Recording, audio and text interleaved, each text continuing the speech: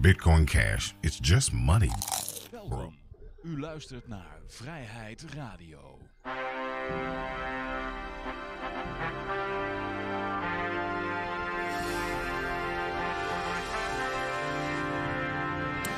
Ja, dames en heren, jongens en meisjes, dit is weer een nieuwe aflevering van Vrijheid Radio. Leuk dat u luistert. We zitten hier gezellig in Café Libertaria met op dit moment Peter en Yoshi. Nou, hoogstwaarschijnlijk komt uh, Lucas er ook nog bij. En uh, mijn naam is Johan en uh, ja, we gaan gewoon beginnen.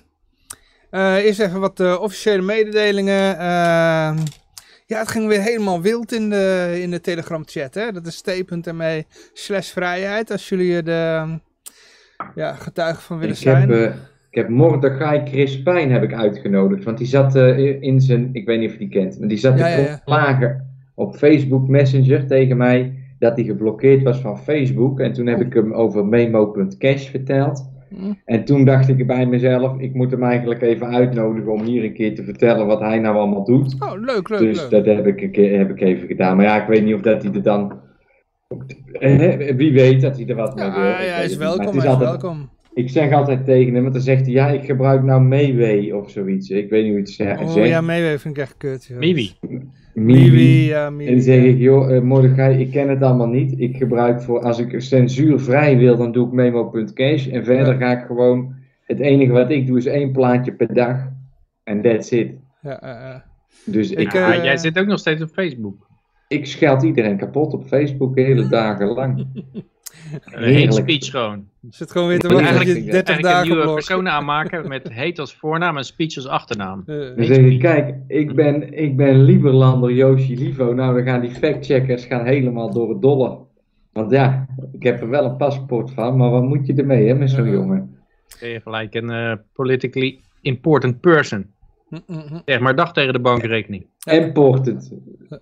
Want het was PEP, hè, was het. Eh, eh, eh. Ja, Maar, PEP was het. P-E-P. Pe- Politically expendable person. Ja, ex- expensive. Expendable. ja, ja. maar ik, ik was een bruggetje aan het maken. Oh, ik naar, heb nog even, wacht even. Oh. Ja, ik, nou toch, eh, ja, daar ben ik nou weer te laat mee. Ik heb allerlei Lieberland. eh, volgende week is het feestfeer van Lieberland hier zo. Oké. De Floating Man. En dan verkopen ze tickets. En ik heb een hele zak met Lieberland spullen. En dan ga ik gewoon, daar in de buurt zit een cafeetje. En ik ga gewoon heel de dag in dat café zitten. En dan komen er vanzelf eh, een paar mensen die komen daar wel langs. En dan eh, hoop ik wat van die Lieberland puntjes eh, mhm. om te zetten. Want ja, Maar je gaat niet naar het evenement zelf toe. Nou, ik denk dat ik zal er wel naartoe gaan. Ik zat erover te denken of dat ik me zou scheren van tevoren. Om een beetje undercover. eh met een grote zonnebril. Maar anders dan schoppen ze mij En dan een pruik op. en, en een neus. Nou ja, die pruik en die rode neus. Dat zal lekker weinig opvallen. Nee, maar ik, ik, denk dan ga ik gewoon zonder baard. En dan ga- ga ik pas als het donker is. En dan ziet niemand toch wie ik ben. En dan... eh, Of doe een hoofddoekje om en dan ga je als moslima of zo. eh. Oh ja, dat lijkt me een goed idee. Dan zeg je, Ja. ik ben geen extremist, maar ik heb wel een hoofddoekje. Kan ik dan Lieberlander worden? Of je doet, en je doet zo'n ah. face mask voor, zeg maar. Enorme face mask en een zonnebril en een hoofddoek zo. En dan, eh, Oh ja. En dan tegen niemand, hey, niet zeggen dat ik Yoshi Livo ben, hè, want ik mag hier eigenlijk niet zijn van Vit. Oeh, ik wil hier zo graag zijn. Nee, maar ik, ik vind, het zijn natuurlijk wel de interessante eh, mensen om te ontmoeten. Eh, zeker omdat ze hopelijk, of misschien wellicht, moet ik zeggen, eh, wat, wat geld meenemen. En dan kan ik wat van die Liberland eh merits kan ik omdraaien. ja, Zou leuk zijn. ja. Nou, probeer het. Ja. Ja. Maar ik was bezig met een bruggetje aan het maken, want je hebt een weddenschap afgesloten op, op t.me slash vrijheid op onze Telegram chat. Ja, hij, hij is, we zijn hem aan het afsluiten. Oh, Hij, wil nog, hij, hij zat nog. een- Het, het geld zelf was nog even. Want ik wilde alleen een e-guldens doen. Ja, ik, Dus ik- ja, ik wilde ook voorstellen van de winnaar krijgt gewoon eh 1 miljoen eh vaccinated sperm tokens. Maar daar wilde je het niet voor doen.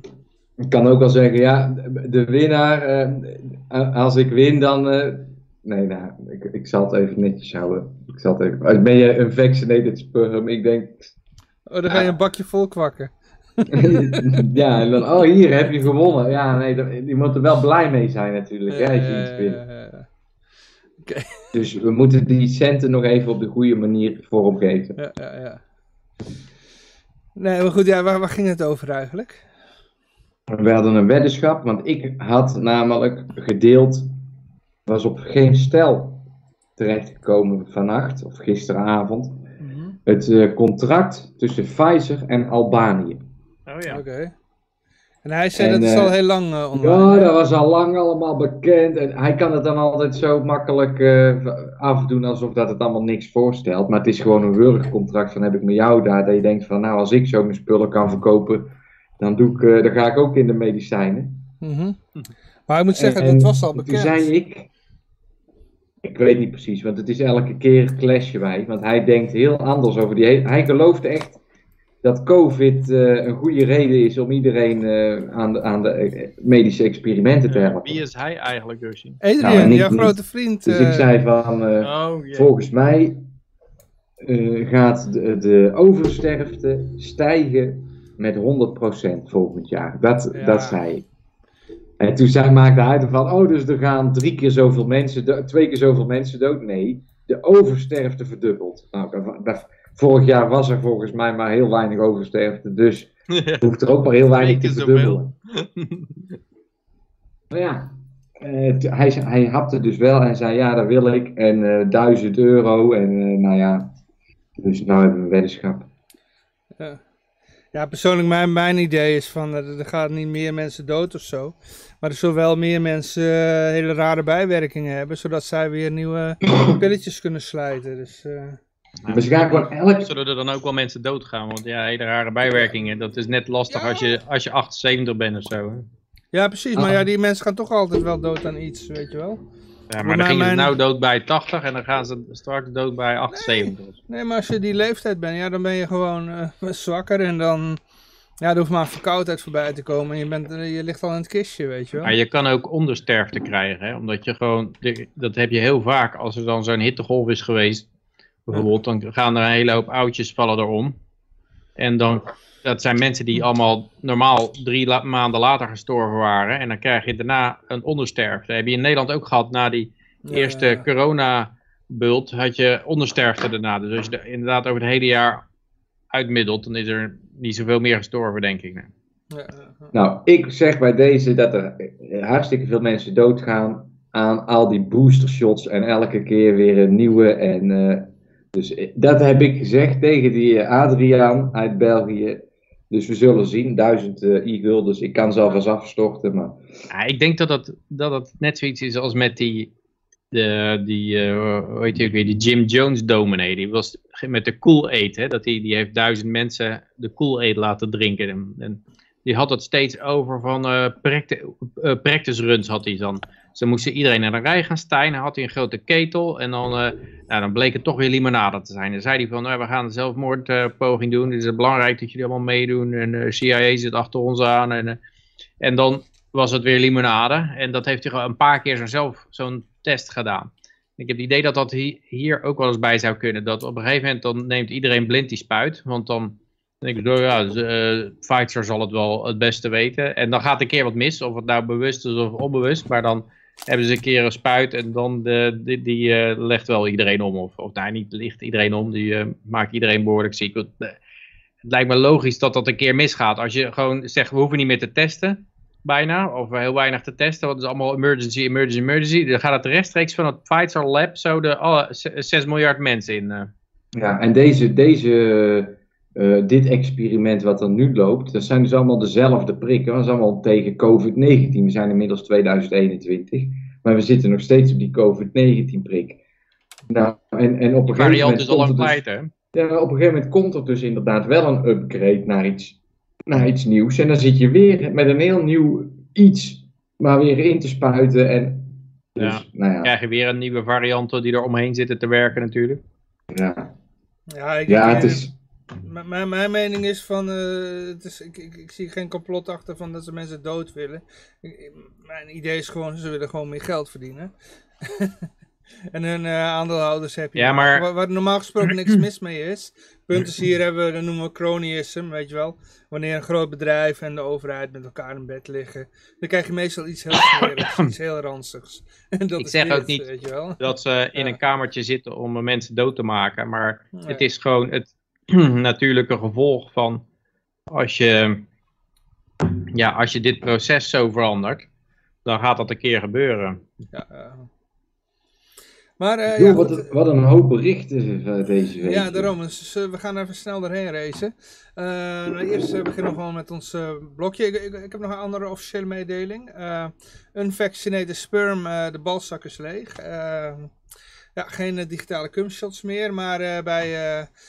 eh, je kunt in onze tokengroep, kun je, dat is, eh, wat was het ook weer, claim SLP. Dat is even kijken, t.me slash eh, claim SLP. Eh, daar geven we nou Hugo'tjes weg. En die zijn genoemd naar een hele bekende kooksnuiver. Dus eh, jullie mogen raden wie. Hugo Escobar. In ieder geval, eh, ja, we geven Hugo'tjes weg. En eh, de volgende staat ook alweer in de rij. Dat wordt de Happy Hour token. Ja, dat mag niet meer. Bij ons wel. Maar bij jullie wel. Ja, tuurlijk. Bij ons mag alles. Nou, is wel extreem hoor. Extremistisch taal gebruiken hier Ja, allemaal. Happy We hour. zijn, we zijn extremisten. we, doen, we zitten nog steeds in het oude normaal. Eh, maar goed, ja, we gaan, laten we even naar de goud, zilver, bitcoins en de staatsschuldmeter gaan. We beginnen even met de marijuana-index. Eh, oh, oké, die heeft een, even een klein dipje gemaakt. Is weer omhoog gesprongen. Hij staat nu op 122,07.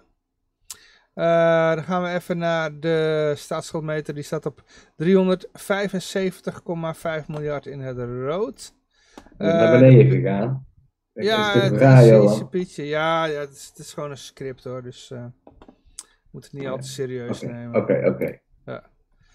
Eh, dan gaan we even naar de Bitcoin. Bitcoin staat op dit moment, oh, is omhoog gesprongen. Die staat op eh eh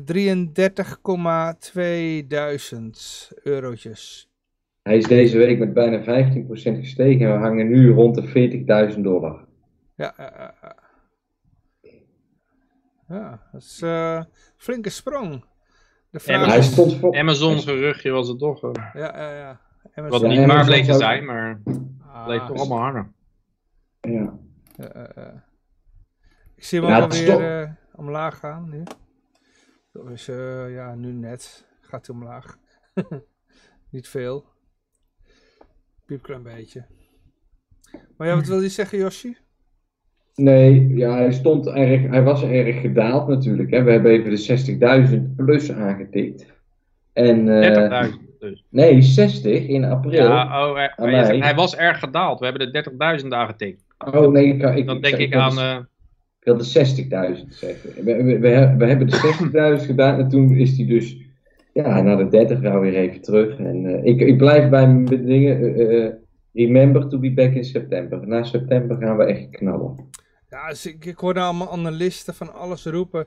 Eh, de een zegt nee, hij gaat meteen door naar de 60.000. En de ander zegt nee, hij maakt weer een ommekeer en dan gaat hij huppa naar de 20.000. En dan pas, eh, ja. Ik, eh, we zien het wel. Ik denk eind van het jaar, dan najaar, dan gaat het weer lekker stijgen hoogstwaarschijnlijk. Ehm, en ja, zo niet. ja, jammer dan. Ja, ik heb ze gelukkig in het voorjaar allemaal een beetje kunnen verkopen. Precies. Toen het lekker ook stond. Dus. Je had Ik er al moet veel even een eerder nieuw- bij moeten zijn. Nieuwe fles water. Even Maar hoe dan ook, wat je kunt zeggen, over een, eh, over een paar jaar is het eh, veel meer waard. Dus, eh, Ja, waarschijnlijk. Eh, je, moet het eh, anders, zeggen- je moet het nog anders zeggen, jongen. Als het blijft bestaan, dan is het meer waard geworden. ja, ja, ja. Eh, goud, olie en eh, eventueel zilver. Goud speert omhoog vandaag 1,66%, 1834 dollar. Ja, waarschijnlijk komt dat een beetje omdat eh, er was gisteren Powell die was gevraagd over eh, ja, de economie en de rentestand. En toen zei hij eigenlijk van ja, wat bedoel je eigenlijk met transitory inflation, dus overgankelijke inflatie? En toen zei hij eh, van ja, daar bedoel ik mee dat de inflatie even hoog wordt en dat de prijzen dan stabiliseren. Maar niet dat, niet dat de prijzen weer terug zouden komen naar, naar omlaag. Dus ze zouden één keer eens een, een sprong maken, zeg maar. En dan zouden ze opeens ophouden met stijgen. Maar, maar je moet niet verwachten dat je oude prijzen weer terugziet. En eh, toen, toen bleek het eigenlijk een beetje van, oh, oké, ja, dus eigenlijk gewoon krijgen we toch wel geldontwaarding. Ehm, dus eh, ja, dus die misschien daardoor goud een beetje omhoog gaan. Olie is ook weer 1,74% omhoog naar 73,65 vandaag. Ongelooflijk. Weet je nog dat een jaar, zilver met 3,4%. een jaar geleden stond die olieprijs op negatief 40? Ja, heel even. Ja, en dat heeft, dat heeft Shell een hoop geld gekost en BP, jongen. Die hebben gewoon de helft van hun, eh, van hun eh, eh, posities zien liquideren. Ja, maar die, die zitten toch niet eh, long eh, future contracten. Want dat was, al, dat was een future contract en het was min 40. Omdat je, er was geen opslagruimte meer. Dat betekent als je het, je, en je moet het laten leveren. Dus je kon er niet vanaf komen van die dingen. Tenzij je, eh, Ik denk dat die op die markt aan beide kanten heel actief zijn. En dat die daar gewoon allerlei managers op hebben zitten die aan een portfoliootje van een miljoen of zo of wat een beetje Ja, aan het spelen zijn. Meestal, kijk, dit soort dingen, dan zitten er, volgens mij zijn dat voornamelijk beleggingsmaatschappijen, die zitten in die futures om op olie te handelen en die willen helemaal niet geleverd krijgen. Dus die Nee. denken, dat rol ik gewoon door naar de volgende maand. Maar dat lukt dan niet, omdat, ja, dan moet er iemand zijn die levering neemt, eh, als het moment eh, daar is. En als, als diegene er niet is, omdat er geen opslagruimte is, dan, ja, dan kan de prijs negatief worden. Maar ik denk dat dat voornamelijk is, eh, ja, beleggers die dachten van, oh, de olie is nul. Nou, eh, lager kan het niet. Eh, sla maar lekker in. Eh, dus die slaan dan er lekker in. zitten. En, en dan komt dat bericht, ja, waar kunnen we die zes olietankers dumpen, meneer uh? Ik vraag me wel af, als je nou op min 40 een order hebt staan, sowieso kan dat waarschijnlijk al niet. Dus voor wie wordt dat dan gevuld op min 40? En, en als je daar dan long gaat en hij maakt de flippening zeg maar, van negatief 40 naar plus, wat voor percentages ga je dan eh, uitbetaald krijgen? Dat lijkt me wel. Dat je zo zegt, ja lever mij maar eh, volgende maand voor negatief 40. Weet je? Ja, maar dat kon dus niet. eh, want de prijs voor die maand daarna is nooit negatief geweest. Ja, ja, hij liep af en toen stopte de prijs gewoon. Toen werden er nieuwe prijzen, was weer op. Ja. Zo- ja, ja, precies, ja. Oké. ja. Ja. Maar goed, ja, dan gaan we even naar eh, de berichten toe. En eh ja, beginnen even met, eh, voormalige, met een voormalige Ethereum-ontwikkelaar. Die is gearresteerd vanwege inloggen op zijn Coinbase-accounts. Maar ja, we moeten hier even wat bij zeggen. Dit, is, dit moet je even in, in, in de context zien. En we hebben het eerder over hem gehad. Dus eh, ja, vertel maar eh, Peter, hoe, hoe zit dit? Ja, het is een beetje een suggestieve titel inderdaad. Maar het is wel zo in feite dat hij... het is Matthew Russell Lee. Ehm nou, dit is Nee, een nee. rapport van Matthew Russell Lee. Ja, virtual nog Het gaat over Virtual Griffith, ja. Ja, ja. En eh, hij had terms of bail. Eh, en eh, dat, die, hij was geloof ik een illegal money transmitter of zo. maar Hij had iets gedaan. Ja, Eh, Noord-Korea was hij geweest. ja, hij had, eh, hij had ja, landen officieel aangemoedigd van... hey, met bitcoin kan je wel onder die sancties uitkomen ongeveer. Dat was het. eh. Ja, had eh, Kim Jong-un over Ethereum verteld en zo. Nee, het was anders. Dat het soort was dingen, anders. toch? Ja. Hij was uitgenodigd door Noord-Korea om daar een lezing over Ethereum te geven. Daar heeft hij gewoon ja op gezegd. En vanaf dat moment wordt hij eigenlijk een beetje geframed als iemand die dus eh, voor de onderwereld faciliteert. Maar hij heeft volgens mij het enige wat er echt strafbaar allemaal aan is geweest, is dat hij naar Noord-Korea is gegaan om het daar uit te leggen. Ja, ja, ja. ja, want je zou zeggen, op zich is het niet strafbaar om in Noord-Korea iets over Ethereum uit te leggen. Nee, maar als je dus gewoon in een maatschappij leeft waar de werkelijkheid niet telt, dan krijg je vanaf dat moment gewoon allerlei eh, media-artikelen voor je Ja. neus, waarin, waarin staat dat je... Noord-Korea is dat land, de- eh, dat, dat, land dat eh, Monero mindt, hè? Ze hebben daar wel. nauwelijks internet, toch? Dus ik kan me niet Ja, voorstellen. ja, ze, ze hebben één internetverbinding Ja. en er wordt Ethereum gemined. eh sorry, sorry, niet Ethereum, eh, Monero, Monero gemined. Ja, ik zou AR. Ik heb vandaag Pirate Chain heb ik aangeschaft. Ja? Oké, oké, oké. Nu Ja, pas. ik... Nou, ja, nu pas. Ik was er al wel... Ik, ja, eigenlijk nu pas, ja. Maar dat kan je, dat kan je alleen op een eh, zo'n wallet laten staan bij hun, of kan je dat op een eigen wallet neerzetten, want dat is wel ingewikkeld. Oh, je hebt, je hebt wallets van eh, Pirate Chain Spacepeak. Je hebt er wel, maar ik ben op dit moment heb ik ze alleen maar gekocht, dus ze staan allemaal nog op een website. Hm. Maar ik vond het een leuk verhaal, wat er eigenlijk niet, niet zozeer de naam of zo, maar gewoon een goed verhaal hoe het was ontstaan en hoe dat ze het doen. En, Ja, het is een soort Monero. hè. Ja, Nou ja, maar wel met een eindige hoeveelheid. Dat vond ik dan wel, dat vind ik altijd interessant. in ieder geval die, die eh, figuur die deze developer was vrijgelaten op voorwaarde dat hij eh, niks meer met crypto zou doen. En toen logde hij in op zijn account. En toen, eh, toen is hij gelijk gearresteerd. Ja, en zijn verweer is, want dit is nog niet vast, het is, het is, hij wordt ervan beschuldigd, maar het verweer is dat, hij, dat zijn moeder per ongeluk had ingelogd. Nou weet ik niet welke be- cryptobeurs je per ongeluk kan inloggen. Coinbase. De- Coinbase. Coinbase? Oh ja, een Coinbase. Ja, Ik heb geen Coinbase account, dus dat weet ik Ja, dan het is niet, ook maar- zo. Coinbase is natuurlijk de grote regulatorbeurs. Die, die, die lopen de hele tijd met alle overheden te, te smoetsen en te, te flubberen. En Dus ja, je moet dus je ook niet gek... praktijken. Ja, die, die vinden dat heerlijk om gelijk iemand door te geven. Dus laten we weer zien hoe, hoe compliant ze wel niet zijn. Ja. Ja, en hij zegt dus, ja, mijn moeder deed de laptop open en die was nog ingelogd en toen logde ik per ongeluk nog een keer in. En, nou ja, het, het ligt er een beetje aan, wat ik al zeg, wat voor beurs het is. Ik weet niet wat voor beveiliging er op Coinbase zit, maar het lijkt me toch heel erg sterk dat je zomaar ineens ingelogd bent. Maar goed, ja. eh, Maar desondanks, dit, hij kan 20 jaar gevangenis krijgen. Dit is natuurlijk wel heel, heel bizar. hè. Ja. Ja,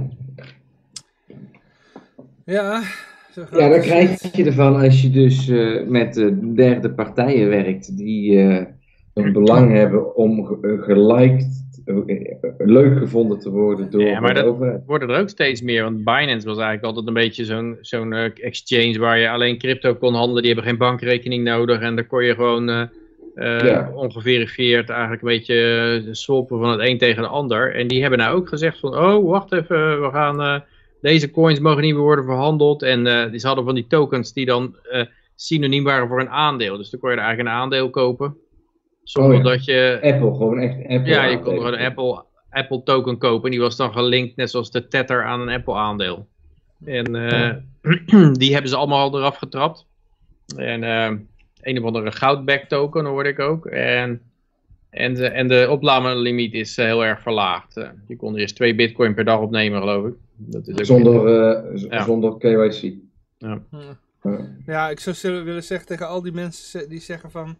Ja, er moet meer regulering komen, want er komen insti- institutionele beleggers eh, erbij. Ja, dit is hoe het eruit ziet. Je, wat die met die virtual eh, gebeurd is, dat is wat je gaat krijgen.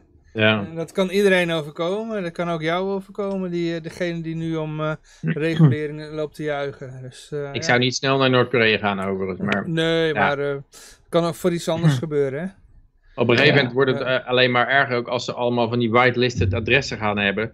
Dan weet je gewoon dat het, dat wordt ook een zootje, want dan, dan, heb, dan heb je ergens nog een bitcoin, heb je die opgegeven of zo, of, of dit adres heb je niet genoemd en dan ga je die verkopen. Boom, gelijk al alarmbellen af en eh, eh, sirenes en black helicopters voor je raam, met een touwen eruit, zo, en die kickforce mannen voor je in, je in het kanaal voor je in de grachten ervoor. En toen die gewoon met zo'n twintig bestormen ze dan jouw, eh, jouw laptop. Het is allemaal van die rode puntjes zo op je borst. Ja, ja, ja, ja, ja. Ja, wat- gegeven moment wat- had wat- ik wat heb je ingelogd met een niet geregistreerd adres. Ja, dat. dus precies. Maar wat hetzelfde is, want er worden nu allemaal mensen gewoon gewurgd door de politie of doodgetaserd, gewoon om niks, weet je wel. Eh, iemand die Lucy's verkocht op de, dus losse sigaretten verkocht op straat. Weet je Hm. wel, eh, doodgewurgd door een politieagent. Die, die, Gardner. Gardner Mitch- Hendrikus, die, die zei alleen maar, die wees naar zijn broek, naar zijn kruis. En die zei dat hij een lofgun daar had. Nou, iedereen weet wat, wat, je- wat je dan bedoelt, weet je wel. Nou, die is gewoon eh, gewurgd. Ja. Mitch Hendrikus, weet je. Ik- ik- Ja, ja. ja. Dus, En dan eh, hebben ze altijd de politiearts die er dan bij komt. En die, eh, die onderzoekt het geval dan. En die eh, zegt dan, ja, het is natuurlijke doodsoorzaak. Of tegenwoordig zouden ze zeggen, het is COVID. ja, ja, ja. Spontaan neergestort aan de COVID. Ja, ja, ja. Maar dat is dat, eh, wat je dan op de cryptomarkt gaat krijgen, weet je wel. Dan word je gewoon, eh, ja... Je wallet wordt leeggeroofd door de politie en eh, jij wordt voor een of andere lullige reden word je gewoon eh gewurgd. Nou ja, wat ook, ook zo belachelijk is, dat die, Ja. die mensen die dan voor regulering zijn, omdat de instituten erbij komen, de prijs omhoog gaat, die hebben ook niet door dat het hele idee van Bitcoin is, ja, je moet zoveel mogelijk decentraliseren en je kan, je moet kleine blokken hebben, want anders dan krijg je te weinig eh, full nodes en dan eh, wordt het te kwetsbaar, want dan heb je, heb je misschien maar eh, duizend kopieën van de blockchain wereldwijd en dan, dan is het mo- mogelijk aan te vallen en zo. Ja, we laten ons allemaal reguleren door de overheid. Ja, daar zit je central point of failure dan. dan is, want als die overheid zegt, nou het worden geen 21 miljoen, maar het worden er 42 miljoen en jij bent gereguleerd, nou dan moet je er 42 van maken. Want je bent immers compliant met regulering. Dus eh, ja, dan is het hele idee weg eigenlijk als je laat reguleren. Van decentralisatie. Maar over regulering gesproken in eh, San Sal ja, eh, El Salvador, sorry. El Salvador is eh, bitcoin een eh, wettig betaalmiddel. En Sinds een- sinds, ja. kort hè? Ja, kort. Eh, voor de crypto-wereld toch al wel eventjes hoor. Oké. Een paar maanden nou. Maar wat maakt het eigenlijk uit dat het een, een advocaat die doet dat? Wat- Wat heeft een advocaat eh, eh, voor gezag? Nou, die spant gewoon een zaak aan en die vindt van, hé. Hey. En ik vind hij, hij heeft een goed punt, hè, want het is een wettig betaalmiddel. Betekent, jij moet het accepteren, bitcoin. Ook als je het niet wil hebben. Ja, dat is een beetje. Het rare is daaraan dat er zo'n clausule bij zit van eh, Ja. mits je het technisch eh, mogelijk is of zo. Dus dat betekent in feite dat, eh, dat als jij zegt, ja, ik, sorry, ik heb geen computer, dan eh, ben je er al vanaf, denk ik. Maar, Ja. Nou ja, het kan wel ook betekenen dat de politie gewoon een reden heeft om bij iemand eh, de deur in te trappen, alles weg, Ja. te, Ja. eh, weg te roven. En dan, eh, ja, in de, in de naam van bitcoin. Hij wilde geen bitcoin accepteren. Weet je wel? Ja. Dus, eh, Maar ik vind het nog steeds vreemd dat het van een advocaat vandaan komt, maar ja. Het is wel Ja, leuk dat je dus hebt dus in Nederland niet zozeer dat eh, Gerard Spong een uit, uitspraak doet over, eh, over Klaas Knot of zo. Dat, dat heb je toch, eh, ik kan me in Nederland niet voorstellen. Dat Klaas Knot die zegt van nou, bitcoin dat is me niet veel. en Dat, dat Spong dan een zaak tegen hem aanspant of zo. Ja. Nou, in ieder geval hier is ja. een advocaat die, eh, die vond het hoog nodig. Die, eh, Hm. Ja, die, die- het jeukte bij hem. En eh, als, je, als je ook leest, ik heb even twee berichten. En De ene die gaat er wat dieper op in. Er wordt ook gezegd dat, ja, volgens hem, ja, want ja, de demonstratie, daar kwamen maar tien man en een paardenkop op af. Dat stelde niet zoveel voor. Nou een van de redenen was, ja, een van de redenen was ook corona, dat ze daardoor niet de straat op durfden of zo. Maar er wordt gezegd in beide artikelen dat er best wel veel eh, mensen zijn die, eh, ja, die daar ontevreden over zijn dat het een wettig betaalmiddel is. Dus eh, Hm. ja. Dus als, als, ja, Ja, er zullen altijd mensen zijn die het niet leuk vinden. En als je dus nog nooit met Bitcoin hebt gewerkt en je moet het voor het eerst doen, dan denk je waarom al die moeite. Maar als je het eenmaal snapt en je hebt bijvoorbeeld een makkelijke aansluiting met een plek waar je ook dollars ervoor kan krijgen. En want dat is natuurlijk, eh, je moet gewoon laten zien, ik- het is makkelijk om te wisselen en dan. Ja, ja maar dat ik is vind, het niet ik- altijd hoor. persoonlijk vind ik, je moet nooit iets opdringen. Nee, nee, nee, het, is, het is niet libertarisch. Laten we dat Ja. vaststellen. Precies, Het is niet libertarisch. Eh, Maar, Zelfs vitamine C moet je niet opdringen. Ja, je hebt vitamine C nodig. Maar ja, dan, dan nog moet je niet opdringen. Of water, weet je wel. Het is hartstikke gezond om veel water te drinken. Maar dan nog moet je iemand niet er. Ja, ze hebben hier een poll en dan zegt dat 54% is het er, vindt het een slechte wet. Eh, Ja. Dan vraag ik mij wel af, ja, eh, waar zou dat van komen? Zou dat ook een beetje zijn omdat eh, IMF en de Wereldbank en al dat soort toko's allemaal een beetje... Want ik geloof dat de Wereldbank al had gezegd van, eh, ja, dat eh, lijkt me geen niet zo goed idee, eh, El Salvador. En jullie eh, moeten nog, willen nog een miljard van ons lenen, hè? Ja, Ja, daar moeten we nog eens even naar kijken nou. Ik denk dat dat is net zoiets als Julian Assange in je ambassades eh, eh, scha- laten schuilen.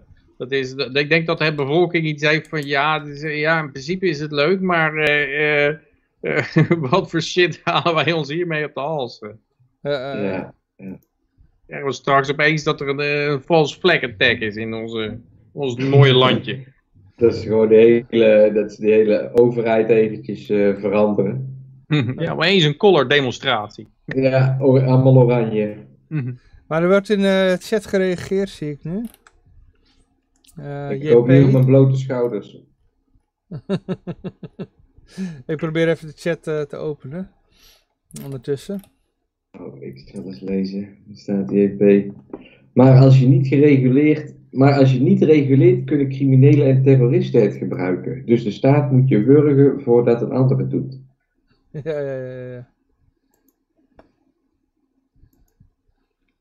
Ja, kijk, het, het is. eh, ik ben ook altijd tegen het reguleren geweest. En je ziet het steeds meer nu ook hier in Servië vanaf 1 juli.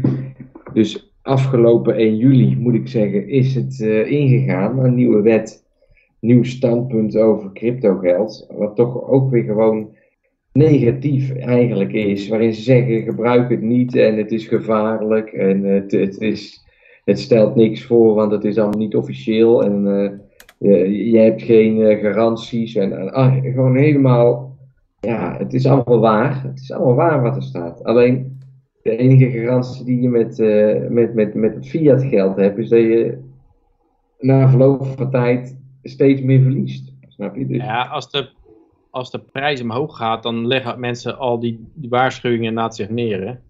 Mhm. Ehm, Ik denk dat, dat ze er blij mee mogen zijn dat, je, dat de overheid hun erop wijst dat Bitcoin überhaupt bestaat. Als je ziet hoe de Nederlandse kranten over Bitcoin schrijven en de mensen afraden om ermee aan de slag te gaan, en hier in Servië is dat dus eigenlijk ook, ook zo. En dat betekent dus dat die hebben een, een, een, ja, een goed lijntje met de mensen die het geld maken en die willen nu het geld maken. Die willen dus dat houden. En zo'n El Salvador, die heeft ja, misschien ziet hij wat meer eh, eh, kans om. eh, Ja, perso- Met die- persoonlijk, persoonlijk denk ik dat, een, eh, dat het verplicht stellen dat dat eigenlijk gevaarlijker voor, eh, voor bitcoin is dan eh, het helemaal proberen dood te negeren of zo. Want we- tien jaar lang is het al geprobeerd in media hier in het westen bitcoin al zwart te maken en eh, weet je wel. Dus dat zijn we gewend, dat is niet erg. Maar als je het verplicht stelt, dan gaan heel veel mensen een aversie tegen krijgen.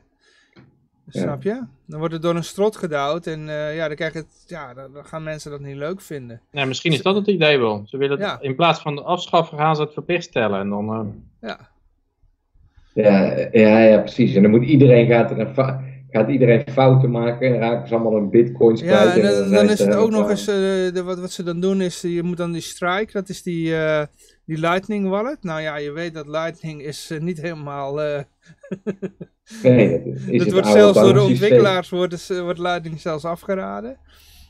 Dus ja, dat is ja, niet helemaal waterdicht.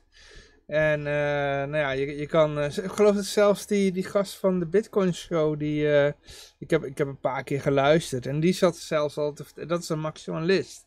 En die zat zelfs al te zeggen, ja, je moet niet te veel op je Lightning wallet gooien, want dan kun je het zo kwijt zijn. Ja. Dus dat, dat, dat gaat gewoon één groot eh, fiasco worden. Dus heel veel elf- el- mensen in El Salvador zijn huppa in één keer hun geld kwijt of zo. Oh ja, op die manier. Ja, Dat, ja. er nog, dat er echt nog een crash komt. Dat het zeg maar. eh, Ah, ik weet het niet. Ik weet niet. Kijk, Strike die kan ook zeggen het is in hun belang dat het, dat, dat, dat niet gebeurt. Dus eh, die, die zullen misschien alles aan doen om te zorgen dat dat voorkomen wordt. Maar ja, toch. Eh, ja, ja, ja, zou kunnen. ja. Ken Dan nog, ik, ik, het zou het beste zijn geweest dat als ze, dat ze gewoon zeggen van ja jongens, we, we maken alle crypto legaal. En kies je favoriet maar uit, weet je wel. JP zegt nog als crypto zo gevaarlijk is, kunnen we er dan niet een va- vaccin voor verzinnen? ja, ja, ja. Nou, stel het voor. Eh, even kijken hoor, dan gaan we even verder. Tenminste, hier is alles al wel even gezegd. eh. ja, ons tempo ligt te laag op deze manier. Hè? Ja, ja, ja, eh, we hebben nog een hele berg. Dus we gaan even sneller doorheen. Ehm, hier een berichtje. Even kijken, tekorten. Hoe komt het, even kijken, hoe, hoe komt het dat de tekorten aan van alles maar blijven bestaan.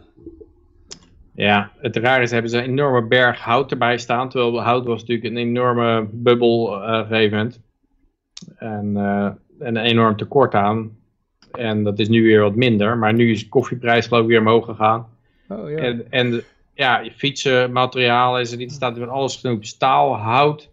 Producenten van toiletpapier ontkomen niet aan een wereldwijde tekort aan. Vrijwel alles, zo lijkt het. Velen noemen de coronacrisis als boosdoener. En eh, ja, het punt is natuurlijk niet dat er een tekort aan spullen is, maar een overvloed aan geld. Dus als je, als je een ontzettende bak per geld drukt, dan gaan mensen natuurlijk van alles lopen kopen. En dan krijg je tekorten. Tulpenbollen. Maar het is niet, dit is niet omdat er te, te weinig eh, spullen zijn, maar gewoon het, het geld wordt waardeloos. En die prijzen hebben zich nog niet aangepast eraan.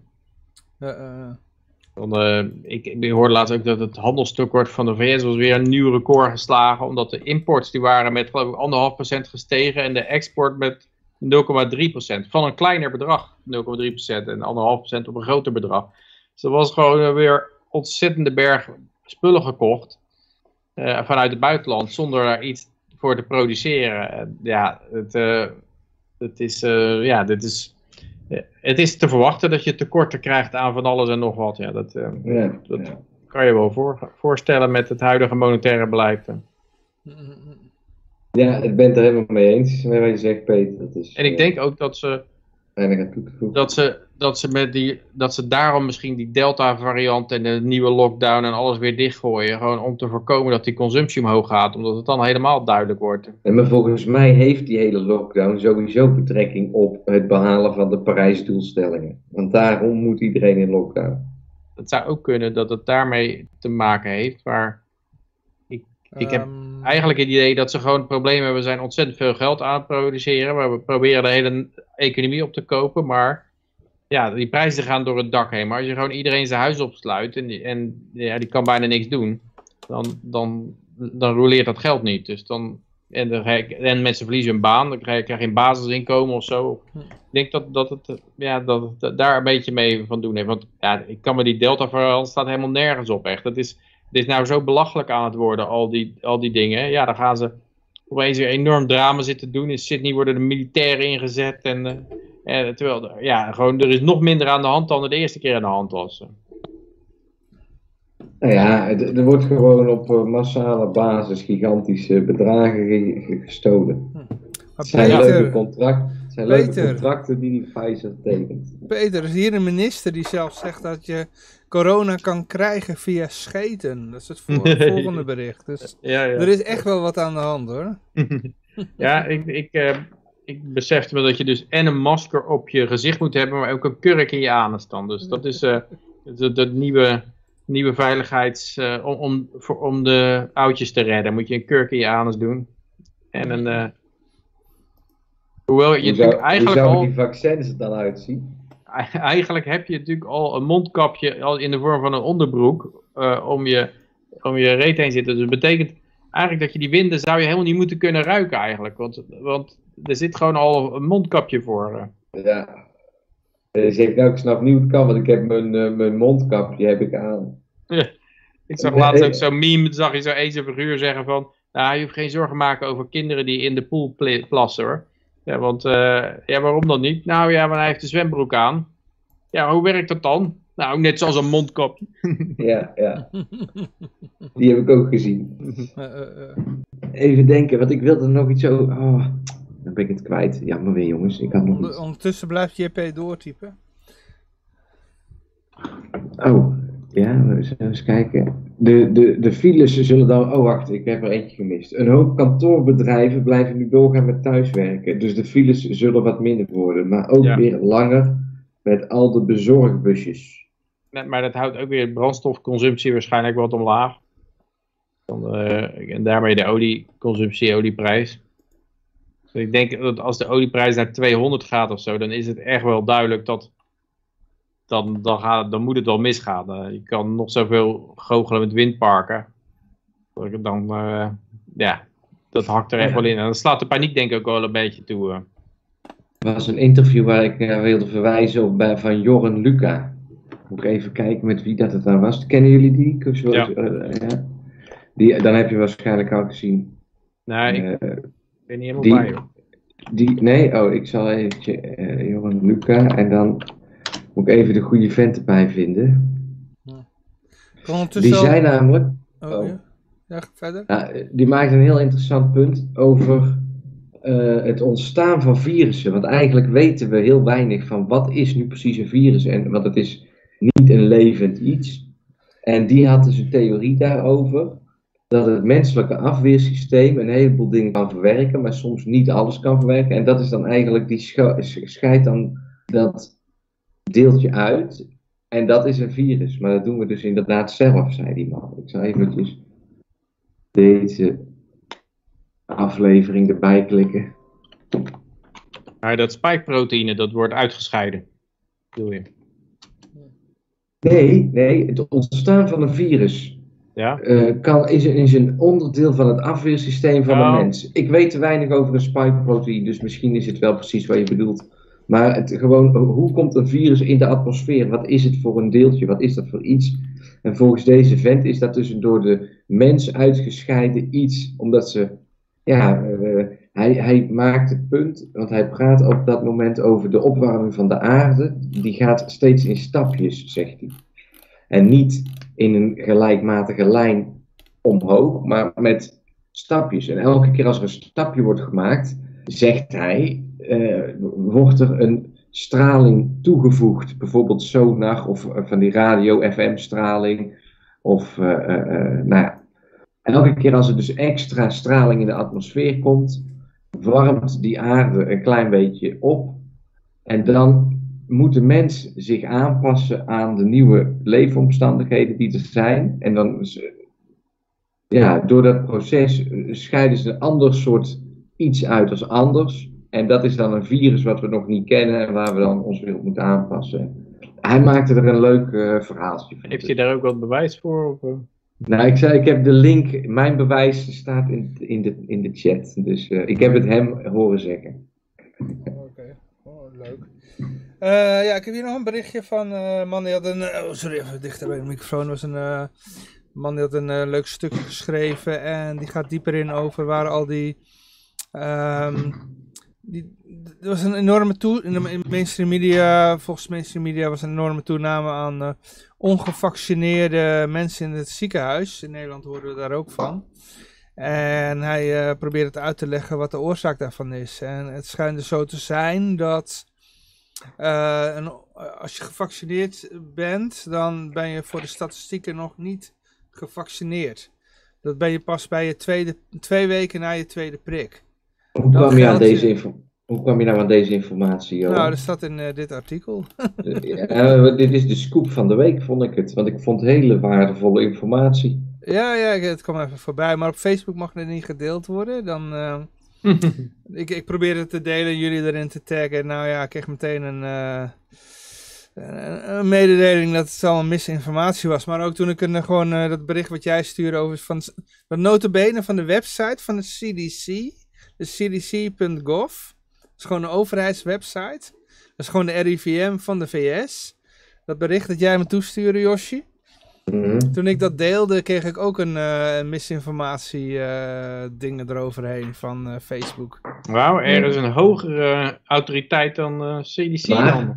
Eh, Johan, als je bijvoorbeeld in jouw bericht het woord vaccin tikt, hè, dan krijg je Oh. automatisch zo'n label. Dus je hoeft dat, het maakt niet uit wat Ja. je zegt. Wat Als je dan Eh, schrijft vaccin of COVID, krijg je automatisch een... eh, Dat is ook zo'n meme van, eh, let op, ik kan een banner, banner eh, krijgen. Eh, ja, was het nou van die, eh, die eh, Ja. Lord of the Rings-achtige toestanden. Of nee, Harry Potter, ja. Zo'n eh, simsalabim vaccin. En dan is boom, zo'n banner eronder. ja. ja, ja, ja. Nou, ik had alleen maar de URL gedeeld en ik had jullie even getagd. Dus meer, geen woord vaccin of zo. Maar, maar goed, JP, JP die eh, schrijft nog meer in de chat. Ehm, dus als we met ons allen onze cha- chakra, oh, onze chakra's eh, in balans brengen, eh, kunnen ook eh, koelende stralingen de ether in helpen. Ehm, CDC in de WHO.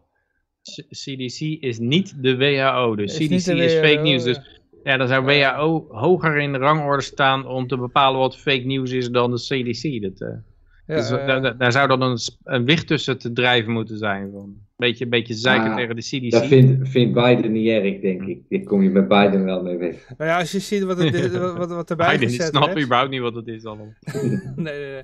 nee, wat erbij gezet, gezegd werd was van... Ja, maar dat is allemaal nog niet helemaal zeker. En dan, eh, het is tijdelijk of zo. Het ging over die, die eh, het bericht komt trouwens zo meteen nog even voorbij hoor. Dus eh, het, is- het zou om tij- iets tijdelijks gaan. Maar dan klik je op het bericht en dan staat er ook gewoon in de titel, gewoon temporary. eh. dus ja. Maar we Ja, hebben zo in meteen de het rest bericht, de- dus dan gaan we er dieper op in. De rest van de wereld zie je eigenlijk dat die, dat, eh, waar de meeste gevaccineerd de mensen zijn, daar heb je de hoogste cases toename. Ja, ja. Nou, dit ging over het afschaffen van ehm, PCR-testen. En dat zal tijdelijk iets Ja, tijdelijk dat, zijn. dat ja. is ook wel een, eh, ja, Ja, maar daar komen we zo meteen nog bij. per 1 december geloof ik. hè. Ja, ja, ja. Maar daar gaan we het zo meteen nog over hebben. Ehm, even kijken, ja, hier hebben we altijd wel over gezegd, toch? Of, Ja, dan gaan we door. of wou je er nog dieper op ingaan over eh, op dit bericht? Ik was het al helemaal met eh, Peter eens. En eh, voor een nu.nl hebben we er al veel te veel tijd aan besteed. Het is geen nu.nl bericht hoor, dit komt van een, van een blog. Dus iemand die heeft, eh, nou ja, je kunt eh, misschien allemaal verder lezen als je zelf Oh, wilt, sorry. Ja, nee, ik, ik, ik, heb inderdaad, ik had mijn nu.nl nog openstaan. Nee, dit ging alweer over de volgende. Het spijt me heel. Nee, het is een heel an- interessant artikel, dus als je er meer over wil weten, nou ja, lees het maar, eh, lees het gewoon verder. Eh, even kijken hoor, dan gaan we even naar, eh, oh ja, dit is cijfermanipulatie.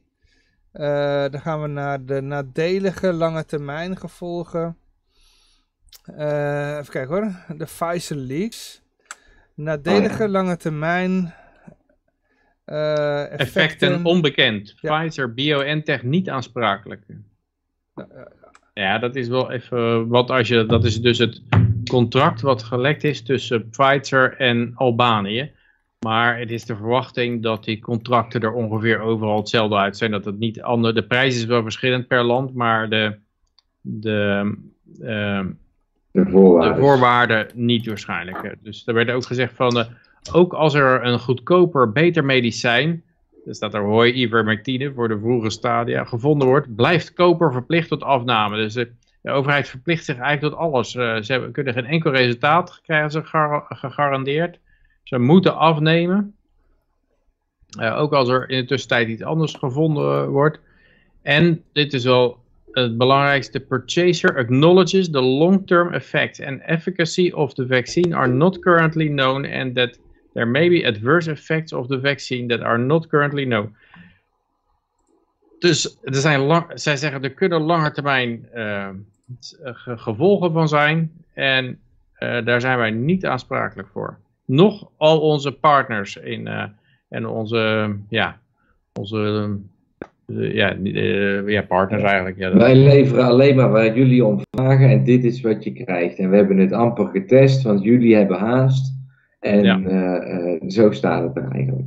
Purchaser hereby agrees to indemnify, defend, and hold harmless Pfizer, BioNTech, each of their affiliates, contractors, subcontractors, licensors, licensees, sub-licensee, distributors, contract manufacturers, service providers, clinical trial researchers, third parties to whom Pfizer or BioNTech or any of their respective affiliates may directly or indirectly owe an indemnity. Dus eh, ja, eh, je kan ons helemaal niks maken gewoon. En ook, er stond ook bij, nationale wetten hebben geen, eh, zijn ondergeschikt hieraan. Dus je kan niet zeg maar een nationale wet aannemen en dan, dan zeggen van ja, maar volgens onze wet zijn jullie wel aansprakelijk. Je kan wel het land opheffen. En dan onder andere naam verder gaan. Dan ben je misschien ook onder het contract uit. Ja, ik denk dat je toch een vliegdekschip moet hebben om dat te, te bekrachtigen. Ja. Ja, en je verklaart het de, de overheid van het land failliet. En eh, Nederland die zou het zo kunnen doen, want eh het staat toch 500 miljard rood. En dan eh, gaan we verder als de Bataafse Repu- Republiek. En ja, hey, wij hebben nooit een contract afgesloten met Pfizer. Toch? Ja, ik heb begrepen dat Pfizer, dat werd in een vroeg stadium al bekend, bij sommige landen een collateral vroeg in de vorm van luchtmachtbasis. Dus die wilden gewoon een hele Ja. luchtmachtbasis als onderpand hebben ter garantie. Van. Dus, eh, ik weet niet of die lui nou heel leger aan het opstarten zijn. Dat ze gewoon, eh, Hmm. ja, dan hebben ze een luchtmachtbasis, was in Argentinië geloof ik. Dan, eh, ja, als je dan in El Salvador zegt, wij heffen ons land op, we hebben een nieuw land en we gaan jullie aanklagen, dan word je opeens aangevallen vanuit een luchtmachtbasis in Argentinië door de Pfizer troepen. Ja, ik denk wel dat je op dat moment in ieder geval geen aanspraak kan doen op dat die, op dat die luchtmachtbasis nog van jou zou zijn. Mhm. Als jij naar de Bataafse Republiek, die hebben Schiphol niet gebouwd, de Bataafse Republiek. Dus Nee, maar dit is in een ander land dan, dit is in Argentinië daar. ja, oké, maar. Ja. Ik dacht dat het in Argentinië was. Maar het is, het is me wel even wat er, wat, eh, wat die lui. Oh, jullie zijn ontzettend in paniek. Ja, nou, dan dicteren wij de voorwaarden. En op zich is dat natuurlijk wel, ja, mogen zij van alle voorwaarden bedingen. Ja. Maar het vervelende is die overheden het ook gaan opdringen aan de onderdanen. Nou, met hele andere woorden. En dat is het grote probleem. Want zo'n eh, zo'n vergelijking met een frikandel. Je weet in ieder geval bij een frikandel wel wat erin zit.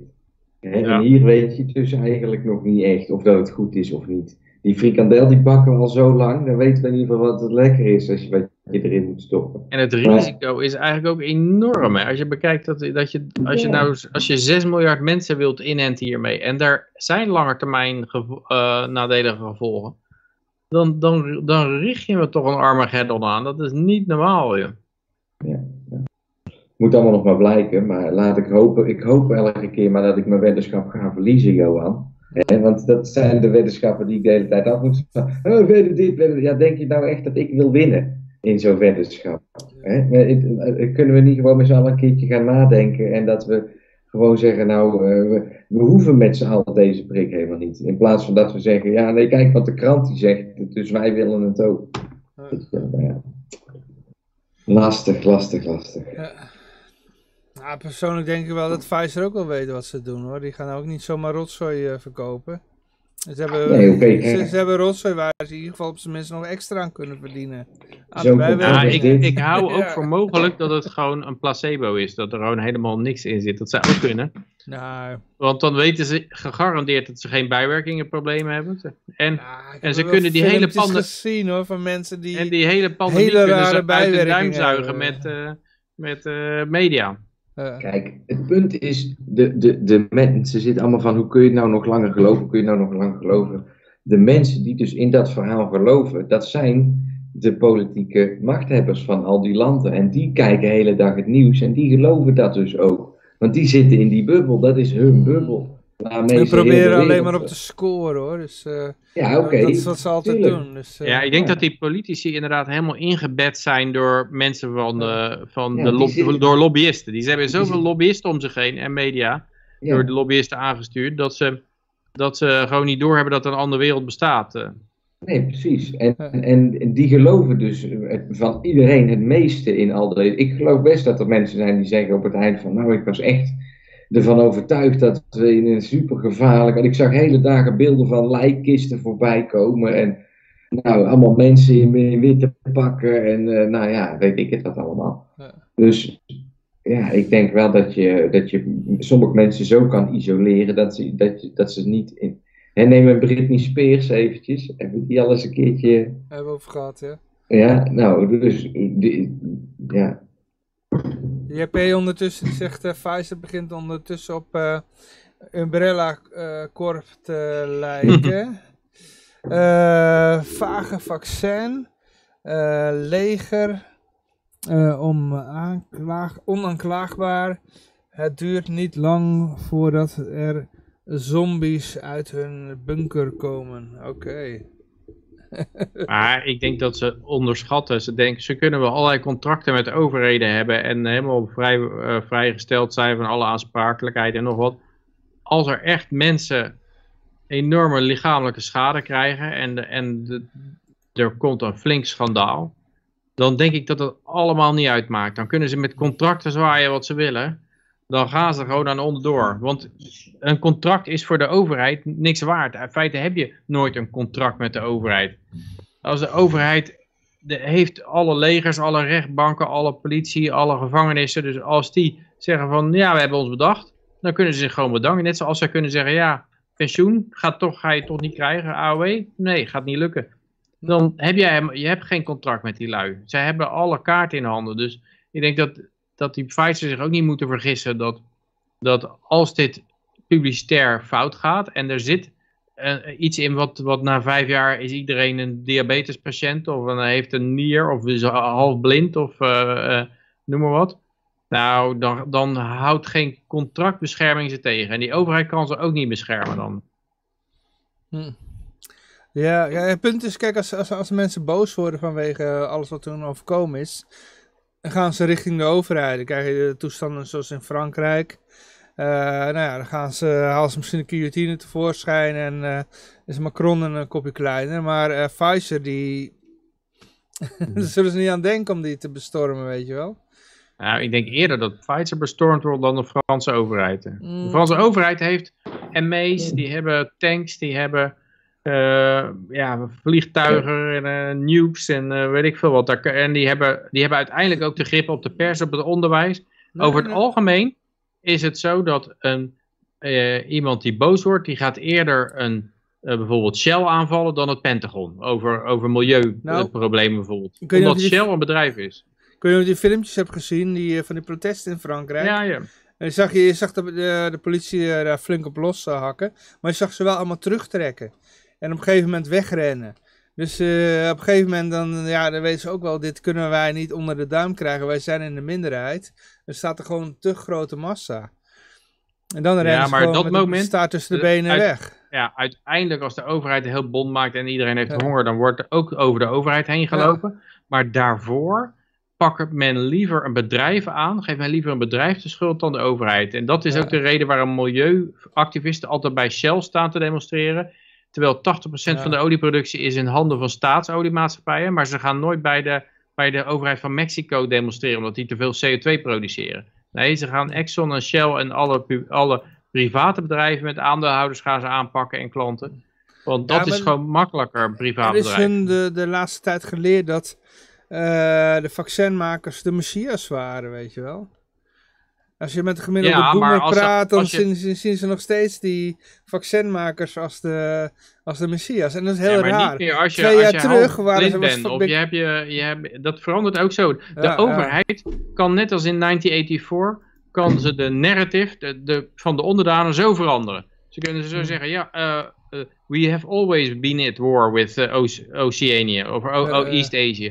Dus ze kunnen zeggen van Pfizer is altijd al slecht geweest. Hup, dat kunnen ze zo doen en dan gaan de mensen gewoon mee. Want de mensen zijn toch primair slaaf van degene die het meeste kogels heeft.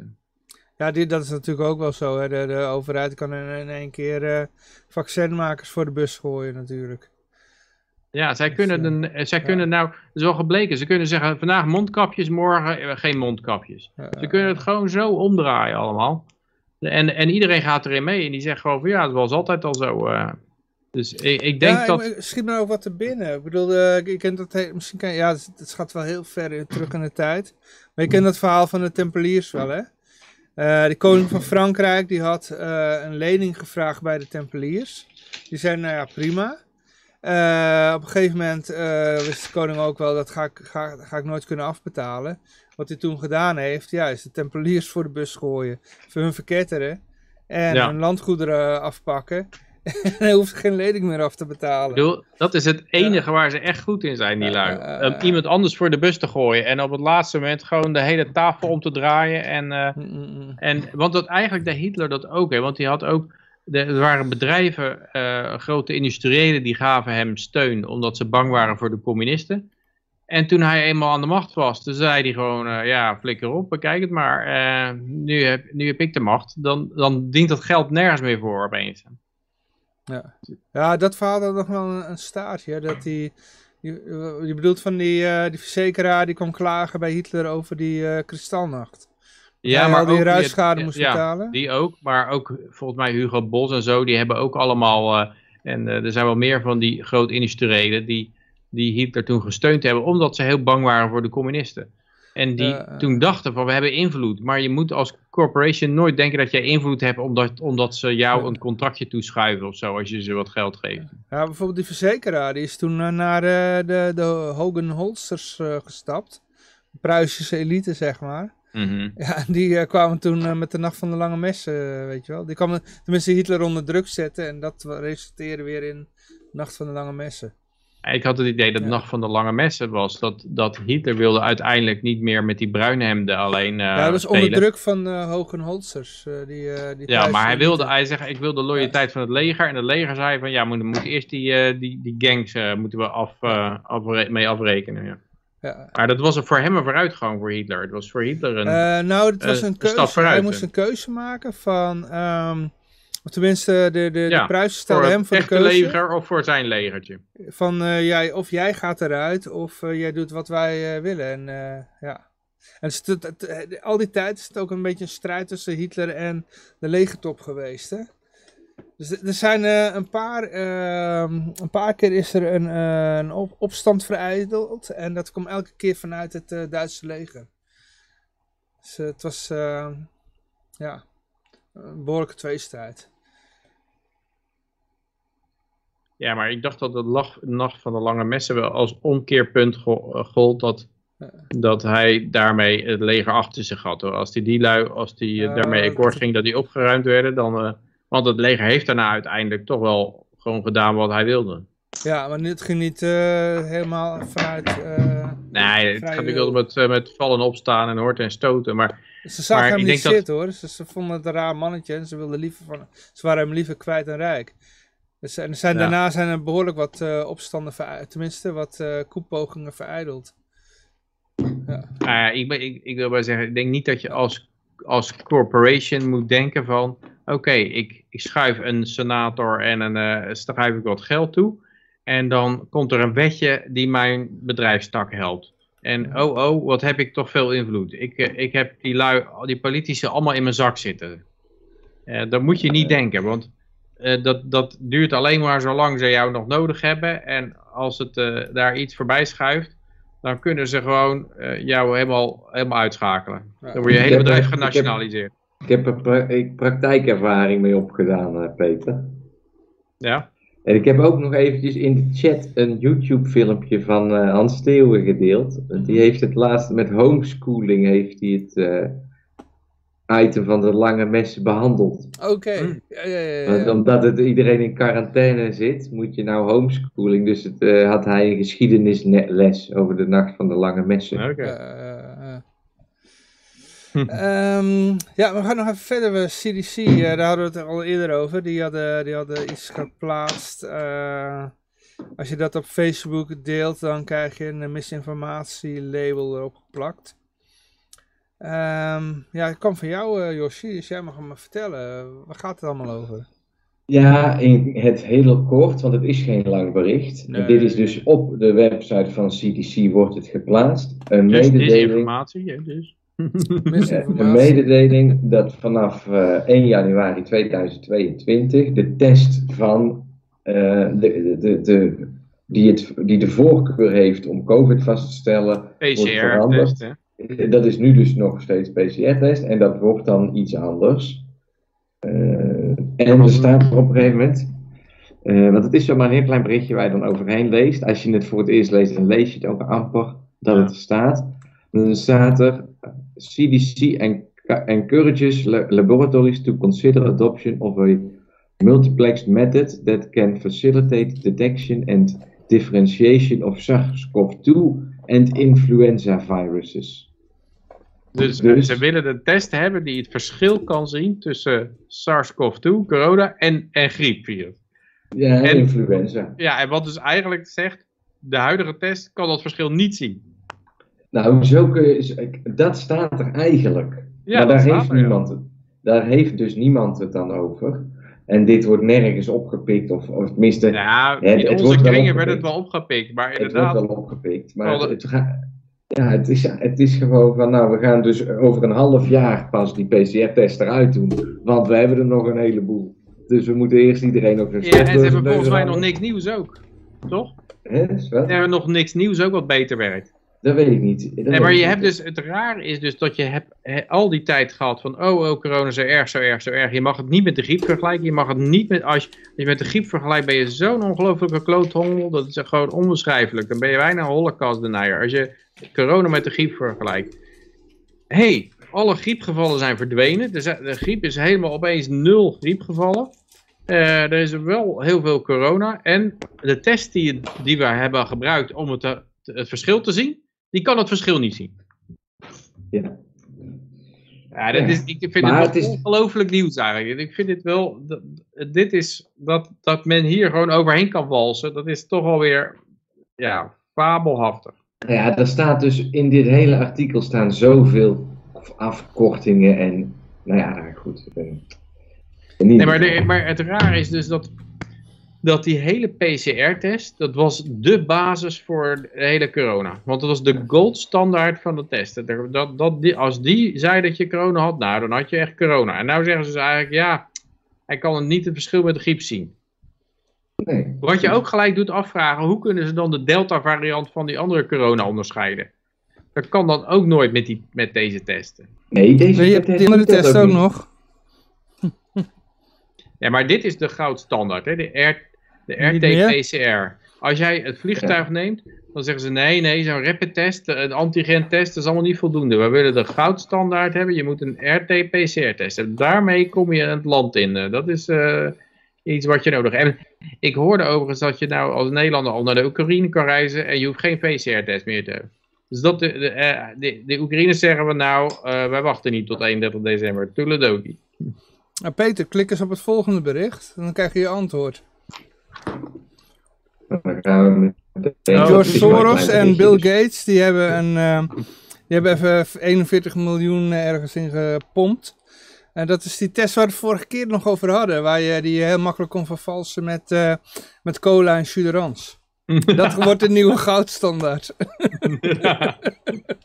Daar heb je Ja, je dus, eh, antwoord. We kopen de UK Maker of COVID Test voor 41 miljoen. Soros en Bill Gates samen. Nou, dan heb je, dan heb je een stel, zeg. Daar heb je je antwoord. Nou, dit, is- dit- nou, dan weet je precies waarom. Ja, maar die, dat bedrijf zal dan waarschijnlijk die nieuwe test hebben of zo. Die, Ja. eh, die, eh, wat, waar nog niks bekend over is. Maar niet, maar niet die Suderange test dan, neem ik aan. Nou, dat is dezelfde. Maar ja, die, dat, is, dat klinkt niet als een, eh, als een geweldige test. hè. Ja, maar het gaat ook... Hey, het is de man die ook Windows maakt, hè? Het hoeft niet goed te zijn. Nou ja, ik weet niet of ze kunnen zeggen van... eh, we hebben hier een baggertest, een bedrijf die baggertesten maken. En de, R, de RT-PCR-test werkt niet goed. We gaan vervangen door deze baggertest. Nou, of ze daarmee wegkomen, maar... Weet je wat het is? Ze komen op het moment toch overal mee weg in een zekere zin. En, en die PCR-test, daar zijn ze nou wel doorheen aan, op aan het schieten. Dus als ze nou nog een half jaar dit kunnen rekken, zo vijf maanden zijn het nou nog. Ja, jij zegt ze zitten nog met een voorraad. Maar ik denk dat het, ze- die, het is, die test is niet zozeer... Het is gewoon een staafje. Maar eh, de, de investering zit in die machine. Je hebt zo'n machine en daar douw je dat in. En dan gaat, die gaat het vermenigvuldigen, en verdubbelen. En dan krijg je daar een uitslag uit. Die machine moet afbetaald worden. Dat is denk ik het, eh, het probleem. Eh, eh. Ja, maar ja, het is eh, Bill Gates, hè, die ook... met de Ja, man van meer- Quick and Dirty Operation System, zeg maar. eh. Ik, ik bedoel het meer al om de, om de verwarring hoog te kunnen blijven houden. Want die PCR-test, die hebben we nou na twee jaar, is dat dan dat ze die twee PCR-testen hebben ge- gebruikt, zeg maar. En dan weten wij het wel. Dan hebben we al die dingen hebben we helemaal uitgezocht dat het dus boven de 35 cycli helemaal geen, totaal geen nut heeft om daar ook maar iets van een medische Ik hoorde diagnose overigens aan al, nou boven de 25 hoorde ik al noemen. Ja, dat is ook. Je, je moet het zien als een verdubbeling. Elke ronde is een verdubbeling. Ja, dus je dus gaat 2 tot twee- 25 is dat dan. Ja, dat, 25. Dat, dat is al een enorme ver- ver- vergroting. Hm. Nou, dus eh, ik denk vanuit het narratief van verwarring dat ze een nieuwe test nodig hebben, die ook weer gewoon met Suderans. eh, oh ja, het bleek dat er een bepaald soort eh, luchtverfrisser in de lucht hing. En toen is iedereen positief getest. En we dachten dat het een superspread event was. En hebben we even twee weken tijdelijk alles dicht kunnen gooien op het moment dat iedereen net een feestje wilde gaan vieren. Maar jij zegt die nieuwe test is nodig om een nieuwe pandemie te creëren, een nieuwe paniek. Met enorme cases. ja, ca- als ja. er cases op moeten gaan lopen, dan heb je een nieuwe test voor nodig. Ja, die, die dus weer opnieuw aangetoond niet moet werken. Ja, maar Ja. pas na twee jaar weer of zo. Ja, Dan, pas eh, weer na twee jaar. ja. Ja. en dan dat komen ze weer met een nieuwe test. Daar was ik, dat wilde ik, zo wilde ik het brengen. Zo wilde Ja, ik ja. bedoelde ik. Nou, ja, en, en dat zij voor 41 miljoen nu een, eh, een, een, een testfabrikant hebben gekocht. Ja, ik, ik vind dat moeilijk. Maar ik, vind dan, ik, ik kijk altijd naar zulke grote dingen. Of tenminste met, eh, met bijvoorbeeld Amerika en China en zo. En dan denk ik 41 miljoen, ja. Kijk, voor hun is de waarde niet dat het de waarheid is als eh, die testen aantonen. Dan gaat er hun meer om dat het manipuleerbaar is. Nee, maar, ja, maar het, het, ook qua prijs is het natuurlijk het idee dat zij kopen het nu voor een, voor een habberkrat. Nou ja, Eh, tuurlijk. en als straks rest van de wereld dat, is er dan vanaf dat de test is die nodig is om de nieuwe varianten Ja. te detecteren, dan is de, op, staan de regeringen opeens weer op de stoep om tegen Ja. elke voorwaarde en zonder enige aansprakelijkheid eh, op voorhand miljarden neer te leggen voor die testen. Ja, ja. En dan is het bedrijf natuurlijk een veel meer waard. En die regeringsleiders die geloven dus 100% in dat verhaal. En die denken echt dat ze goed zijn. En die zijn helemaal geïsoleerd met Ja, dat denk ik allerlei... ook. eh, Nou, ik denk ook wel dat ze doorhebben dat het allemaal bullshit is. Maar voor, hun, voor die regeringsleiders is van, ja, zolang wij hierop eh kunnen, hoe noem je dat? Kunnen Nee, kapitaliseren. nee, dat denk ik niet. Die geloven het echt allemaal. Nee, nee, en die nee, dus- Kijk nou hoe dat zo'n Rutte op zo'n Guido, Gideon van Meijer al reageert als die dan zegt... Ja, je moet eh, op YouTube eh, niet te veel Ja, complottheorieën denk, denk je nou echt dat, dat, dat als, je, als je Rut op tv ziet dat hij gewoon eh, vanuit zijn hart loopt te praten? Nee, die loopt gewoon maar een lulverhaal. Die, weet Nee, ook wel dat hij een lulverhaal ophangt. Wat hij, wat hij zegt is precies wat al die honderd mensen om hem heen hem vertellen dat hij moet zeggen. Mm. Dat, dat zegt. En hij heeft er wel een idee bij wat hij wil, maar uiteindelijk praat hij allemaal die mensen na. En als die zeggen, kijk, hier zijn de cijfers en jouw collega in Engeland en Frankrijk en eh, doen het allemaal op die manier. Jij kan niet. Nou, dan is die druk op die persoon zo groot. En dan zegt hij, ja, ik moet ook het volk beschermen. Ik denk dat hij ook wel doorheeft dat hij bullshit praat hoor. ja. Ja, ik, ik weet het niet. Dit, dit- dit blijft de eeuwige vraag. Zijn ze evil of zijn ze, ze stupid? Hè? Dat is, eh, eh, en je kan zelfs zeggen, bij, in Amerika zeggen ze, ja, je hebt twee partijen, de evil en de stupid party. ik denk ja, dat, dat, dat, dat er geen evil of stupid is. Ik denk dat gewoon het meeste zit in dat gebied daartussen. ik heb inderdaad wel eens eh, hoge pieten van de overheid eh, van dichtbij meegemaakt, weet je wel. En er zitten ook echt inderdaad figuren bij dat je denkt van jezus. Die zijn, Ja, dan, maar die, dit- die zijn maar- goed in één ding, maar voor de rest zijn ze oliedom, weet je wel. Ja, maar dus zijn ze makkelijk om de tuin te leiden Ja, maar door die zijn allerlei goed in één ding. eromheen. Maar dan, Ja. dan komen we weer bij Josjes standpunt terug, waar, waar jij dat net zei, ja dat klopt niet. Maar dat ze geloven wat, er, wat ze uit ze papegaaien na, wat er om hem heen na- naar ze toe Ja, gesmeten wordt. ja. Dan. Ja, dit was niet de top van de top hoor, die ik meemaakte, maar dit waren allemaal mensen van ministeries. Ja, het, was, ja ze zijn goed in, de, in, in, in de bepaalde dingetjes. En eh, politici heb ik ook van dichtbij meegemaakt. Die zijn heel goed in mensen bespelen. Daar zijn ze echt heel goed in. Maar eh, ja, eh, van andere dingen weten ze, van heel veel dingen weten ze gewoon echt helemaal niks. Waar wij wel wat van weten, zeg maar hè. Dus ja. Ja, eh, en ik denk ook dat ze over het algemeen willen ze er niks van weten. Dat, daar is ook een beetje een dynamiek in. ja. Dat noemen ze dan eh, plausible deniability. Dat die informatie kan ook niet tot ze toedringen. A, omdat niemand het wil. Ja, niemand, er zitten lobbyisten omheen die dat tegenhouden. Ja. Maar zij willen het ook niet horen. Want als zij te horen krijgen van ja, dit, dit is helemaal niet goed getest, bijvoorbeeld dit vaccin, en eh, dit kan enorme schade aanrokken, dan zijn ze verantwoordelijk. Op dat moment Ja, dat jij dat gehoord hebt, dan, dan eh, is het van ja, je hebt het, had het kunnen weten, want dat is tegen je gezegd door die en die. Dus daarom, daarom willen ze ook eigenlijk, willen ze die informatie niet horen. Ja. Eh, JP zegt uh, ze geloven er niks van. Ze vieren bruiloften als, als ASO's. gaan naar de G8. ja, ja, inderdaad, ja, zonder mondkapjes enzovoort. Ja, inderdaad, ze geloven er geen fuck van, ja.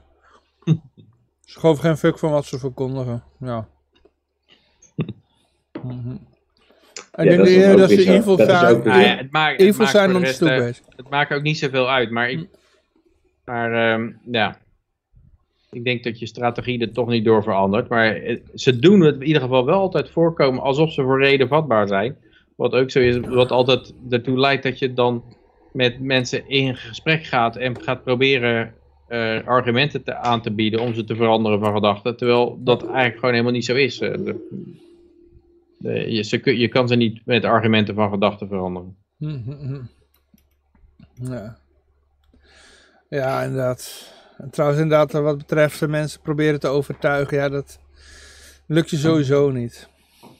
Dus dat, eh, Nee, maar ze, die mensen, de meeste mensen werken ook gewoon met emoties en angst en de hele zooi. eh, je, ja, je smijt gewoon een hoop emoties naar iemand toe. En dan verzint hij vanzelf wel een argument waarom hij zijn standpunt wijzigt.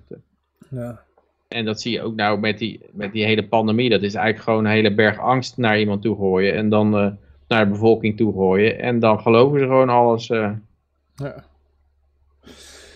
Maar we gaan even verder. Meer gevaccineerde mensen boven de 50 die eh, positief getest zijn, sterven aan COVID. En dit is allemaal in de UK. Maar het zal niet alleen daar zijn, denk ik. Nou, ik vind het wel apart dit bericht, want meestal komen ze andersom binnen. Ja. Ja, maar daar hadden we eerder over gehad, hè? Dat zijn de gemanipuleerde cijfers van... eh, Ja, maar je moet wel even rekening houden met hier. Kijk, als 99% gevaccineerd is, dan, dan is het ook de verwachting, waarschijnlijk, gegeven die verhouding onder de bevolking, dat er meer vaccinated dan unvaccinated positief testen. Kijk, eigenlijk pas als je 50-50 zit, als de helft van de bevolking gevaccineerd is en de helft niet, dan kan je er wat van zeggen van, hey, krijgen we meer gevaccineerden dan ongevaccineerden. Maar als 99,99% gevaccineerd is, dan zul je, dan, of als 100% gevaccineerd is helemaal, dan, dan, dan de cases die je blijft krijgen, die moeten wel gevaccineerd zijn. Dus op zich moet je die rate weten van hoeveel zijn er gevaccineerd, voordat je daar wat pas wat van kan zeggen. Ja, maar dit is dus, sorry hoor, want ik zat weer even in een berichtje, maar dit is wat we hier eerder ook al over zeiden, of de- wat er dus tegenin ging, dat eh, wanneer is iemand nou gevaccineerd en wanneer Ja, eh, Ja. telt die alsnog niet? Want daarmee kun je dit soort cijfers natuurlijk ook... twee weken na het tweede vaccin. Dat het al- Ja, Ja, ja. ja, ja. Ja. En dan, dan alsnog, hè? Maar je, het ging eh, toch op basis van leeftijd. Dus het gingen de, de alleroudste eerst. En dan eh, van 80 Ja. ging naar 70, dan naar 60. Ja, daar moet je ook rekening mee houden. Dus, eh, Ja. ja. je hebt nu die mensen van 50. Nou, die hebben nou al twee weken hun laatste prikje gehad. Ja, en die vallen nou gewoon om. Ja, dit soort statistieken moet je heel erg maar uitkijken. Het is heel erg ver- verdacht, ook omdat niet, ze hebben niet willekeurig mensen ingeënt, maar ze zijn begonnen met de oudste. Dat betekent dat ook in de, in de toekomst zullen de, meest, eh, de meesten die die ziekte krijgen, die, die zullen oud zijn. Dus ook het meest onder de gevaccineerden zitten.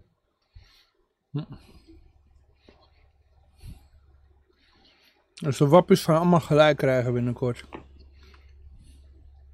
Nou ja, dit soort, eh, ja, dit, dit soort berichten, dat moet je echt even helemaal goed analyseren voordat je daar eh, wat uit...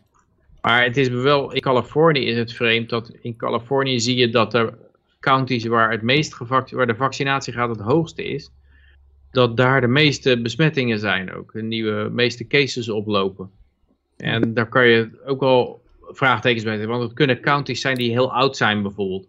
En, als de, en die, hebben ook, die hebben ook zich het hardst laten inenten. Maar dat betekent dan ook dat daar de meeste cases blijven komen. Omdat ze nog steeds heel oud zijn. Eh, Dat heeft de inenting niet veranderd. Dus ja, het, moet altijd, het is altijd een beetje, een beetje linkersoep. Maar ja, ik zou wel verwachten dat zo'n vaccin, dat levert natuurlijk een bepaalde dan immuniteit op. Als, het, eh, als je je mag geloven. Dat betekent dat de virussen die overleven, die zich kunnen voortplanten of die verder kunnen komen. Dat zijn virussen net zoals bij antibiotica, bacteriën, die, die niet door het vaccin gehinderd worden. Dus dat betekent dat, dat die varianten die ontstaan, die zitten buiten het bereik van, dat, van het vaccin op een gegeven moment. Dat moet haast wel, want, want eh, ja, anders zouden ze niet overleven. Zou dit misschien niet een reden zijn dat eh, Bill Gates en Soros van die PCR-testen af willen? Dat ze nu gewoon iets heel anders willen hebben wa- wa- wat, makkelijker voor hun manipuleerbaar is. Nou, die PCR-testen die zijn ook per- perfect Ja. manipuleerbaar, want je Ja, kan... Nee, nee, maar op een gegeven moment gaat dat tegen hun werken. Dus op een gegeven moment, die, je weet, die zien het verschil niet tussen een hooikoorts en eh, iets anders, weet je wel. Het Dus, eh, probleem is een beetje, dat, dat zag je heel in het begin al met die PCR-test. Dat, dat was door dat Drosten opgesteld. Eh, en die Drosten had gezegd van zo kan je het detecteren met de PCR-test. En toen kwamen er gelijk een aantal wetenschappers die kwamen in verzet. En die zeiden van ja, ho, wacht eens even, die klopt niks van. Want ik, zie, ik werk dagelijks met PCR en zit, ik zie zo gelijk al tien fouten erin zitten. En die ging verder kijken en die is bij Blackbox geweest, die gast ook. En eh, Ja. die zei van ja, er zitten, er zitten eh, eh, niet alleen tien fouten die hij zo kon ontdekken, maar het is ook binnen één dag gepeer-reviewed. En hij zegt normaal in peer review, daar gaat gewoon een tijd overheen. Van eh, he- heen en weer schrijven en eh, dit moet je aanpassen en dit klopt niet. En eh, de, de, normaal duurt dat maanden. Dat was, nou, was het in één dag gepeer-reviewed. Wat, waarvan hij zei, dus is het niet gepeer-reviewed. Dus di- dit paper is er gewoon gelijk doorheen gekomen.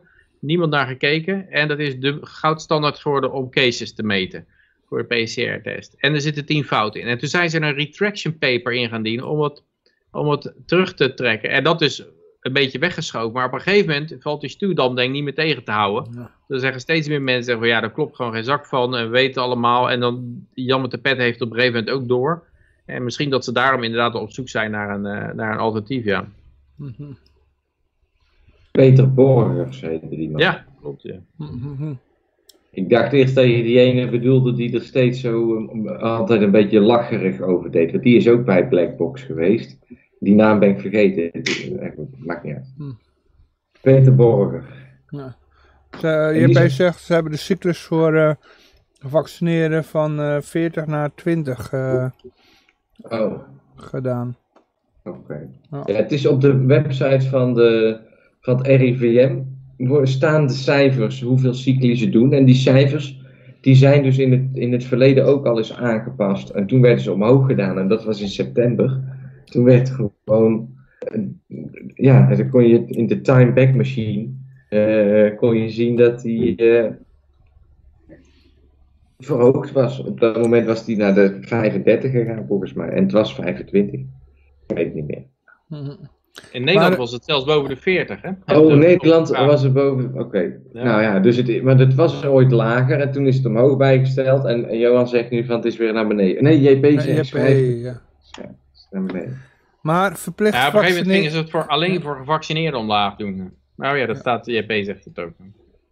Voor gevaccineerde mensen van 40 naar 20. Dus dan krijg je veel minder positief Ja. bij die gevaccineerden natuurlijk. Ja. Maar eh, verplicht vaccineren, dat doe je voor, eh, voor de vrijheid, hè? Nee, en dan roept die, ja, dat is precies, maar dan roept die Adriaan in de Telegram chat. Ja, zie je wel, want onder de gevaccineerden heeft er niemand een positieve test. Nou ja, oké, gefeliciteerd Adriaan. Ik geloof toch wel wat ik wil, dus eh, weet je wel. Ja. Maar als dat echt zo is, ja, dan, dan weet ik ook waarom ik het geloof. En dan, eh, Mhm. ja, het is gewoon heel erg. Maar eh, verplicht Oh, ja. vaccineren doe je in naam van de vrijheid, hè? Dat is echt een contradictio in terminus, eh, dit.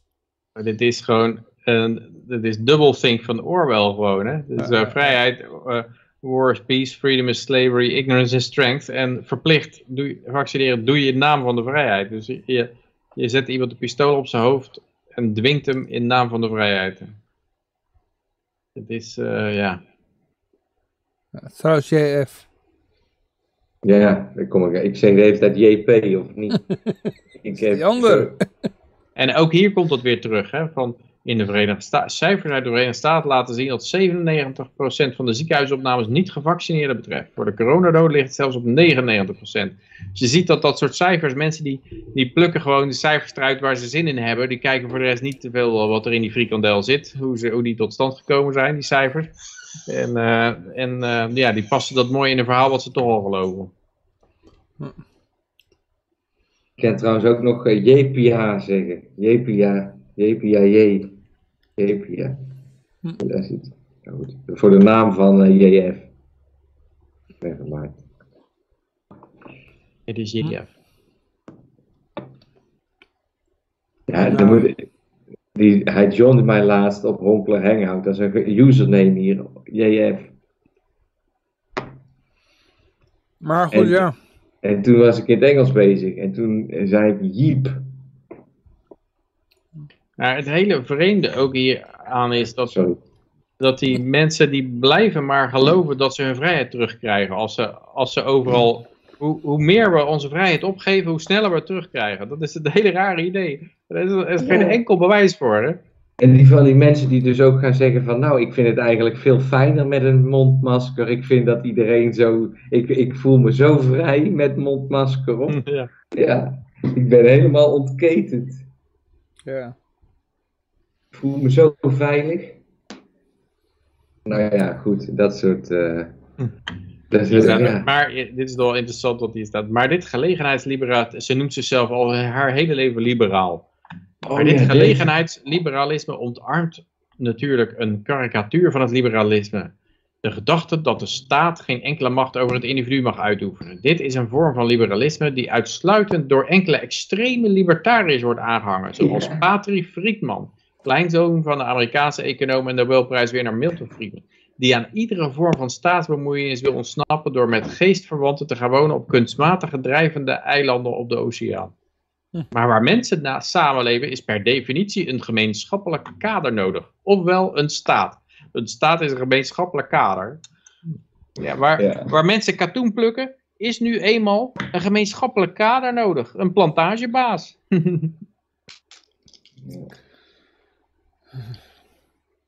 Ja, als ik dit op... als Zo is... Ja, ik zie het wel eens van die fora. Als ik iemand dit soort dingen zie eh, verkondigen, ja, dan... Vroeger ge- ja, jeukte het en dan ging ik er inderdaad op in. Maar ik weet nu al van dat is zinloos, weet je wel. Krijg van die hele lange discussies en aan het eind heb je alleen nog maar eh ad hominems. Ja, het is apart. Het is waar mensen samen... Ze begint over dat kader of wel een staat. En dan zegt hij, omdat het handelen van de ene persoon nou eenmaal invloed kan hebben op de vrijheid van de ander. Daarom zijn er wetten nodig om ieders individuele vrijheid te beschermen. En die wetten moeten worden gehandhaafd. En door onder meer politie en rechterlijke macht. Dat kost geld. Dus moeten mensen belasting betalen. Er zitten allemaal dus stappen in. Die, ja, als je een beetje gelezen hebt over libertarisme of, eh of anar- anarchokapitalisme. Dan weet je van nee, dat is helemaal geen dus. Dus heb je een monopolie nodig die dat handhaaft. Nee, Nee. niks hoeft een monopolie te zijn. Maar Ik heb dit niet uit kunnen lezen, dit artikel heb ik weggeklikt naar twee eh, Ja, alinea's. precies. Dit, dit soort mensen, ja. Ik ga Ja, er niet eens door meer in- overdracht mee in van besmettelijke ziektes kan het ene individu de vrijheid van de andere ernstig beknotten. Ja, ja. Ja, dat is met seksueel overdraagbare ziektes ook zo. Dus, Ja, eh. Seks moet geregeld worden door de overheid, denk ik dan. eh. ja. En het rare is ook dat in Californië, waar ze nou het meest zijn van, nou, je moet eh, voor een ander mondkapjes dragen en je moet voor een ander laten vaccineren. Daar hebben ze onlangs gezegd dat, dat eh, als jij HIV hebt en je weet dat en je zegt het niet tegen, die- tegen een ander, je hebt seks mee, dan, hoef, dan is dat niet meer strafbaar. Nee, nee dat, Dat is niet dat strafbaar. nee, dat is niet meer strafbaar.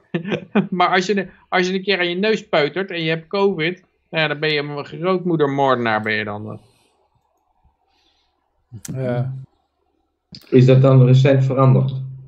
Is dat nooit Ja, ik denk twee jaar geleden, of twee jaar geleden of zo is dat veranderd, ja. Zoiets. Een jaar, twee jaar geleden Wat draai, joh. Ja. Ja, dus de homo-lobby zit daarachter of zo. Of, ja, ik kan ook Ja, voorstellen. dat komt omdat ze Homo's dat niet zeggen- eh, fijn vinden, toch? Dat iemand... eh, Nou, nee, als ze, als ze die medicijnen goed innemen, dan is het risico op verspreiding eigenlijk nul. Mijn punt is dus, wat, wat als zo iemand alleen die pillen voorgeschreven krijgt, maar ze niet elke dag inneemt? Of zo dement is als een Biden en het gewoon vergeet. Ja, oké, maar dan heeft hij iemand die die pillen wel in zijn mik duwt. Maar Hm? nou ja, dat is dus het risico. Je moet wel dan eh, weten dat iemand altijd die medicatie inneemt. En dan hoeft het op zich geen probleem te zijn. Maar wie zegt dat dat zo is? Ik zou toch wel... eh, Ja, nee, er, zit, er klopt gewoon niks van hun stelling. Want ze zeggen my body, my choice. Dat noemen ze dan bij, bij eh, abortus, zeggen ze dat. Hè? Dan hebben ze die borden. En, ja, de- en eigenlijk kan je een heel goede case maken. Het gaat niet over jouw body, het gaat over, over het body van het kind. En, En als je er nou over liegt, vraag ik me nou af. Dus iemand die vraagt het en jij zegt, nee joh, ik heb helemaal niks. Ja, die moet even de details van die wet opzoeken, wat ze nou, hoe dat veranderd is precies. Eh, ik, ik weet uit mijn hoofd niet precies hoe het zat, maar ik weet nog wel dat ik dacht van, het was inderdaad van, ja, je kon seks hebben met iemand en eh, het niet zeggen en niet aansprakelijk zijn. Zoiets, dat was, zat er in ieder geval in. Ja. Maar ik bedoel, eh, ze zijn dan wel bijvoorbeeld tegen orgaanhandel of zo, hè? Ehm, Ja, maar dat, Ja, Ja, dat ze die- zeggen my body, my choice, maar dan zijn ze tegen orgaanhandel. Mm. Wat wil zeggen van, ja, Ja. mijn lichaam is van de staat eigenlijk. ja, dus het, het is Ja. inderdaad, het is met geen, geen speld aan elkaar te rijmen. Dit. Nee, eh, het enige wat daarvan te zeggen valt, is ze zijn gewoon heel erg conformistisch. En als hun groep een bepaalde mening heeft, dan, dan, dan schrapen ze daar gewoon wat argumenten mee.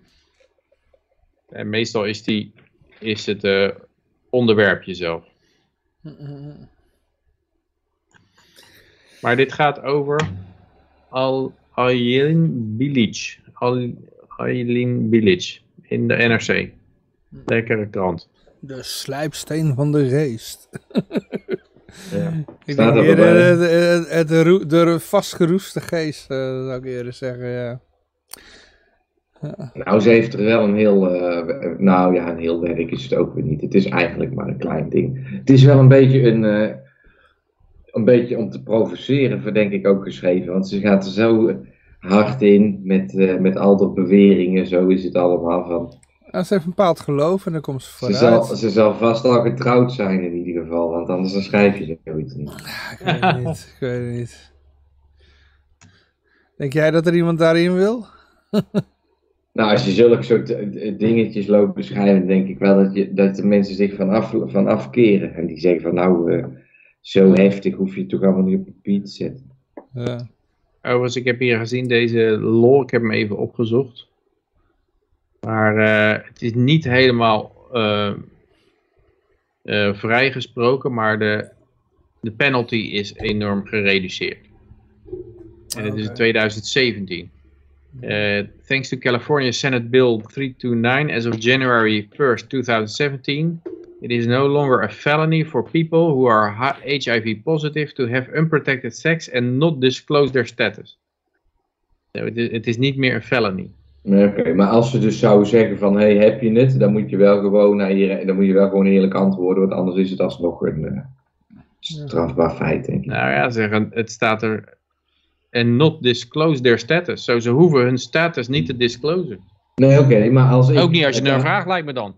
Nou ja, als het, dan kun je dus zeggen, ik disclose het niet, maar als je gaat lopen liegen, is het nog iets Oh anders. ja, ja, dat zou kunnen. Ja. Ik weet niet, Peter, hoe goed is jouw Latijn? Uh, baggergoed. Oké, ik had er ook nooit een goed cijfer voor.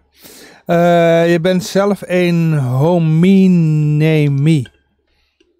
Ja, het is een bepaalde... Iets met mensen. Je bent zelf een hominomi. ja, zeg JP in de chat. Ah, oké. Ja. Hominomi. JF, het is JF. Hominen. Hom hominen. JF, sorry, JF. Ad, zoals een ad hominem.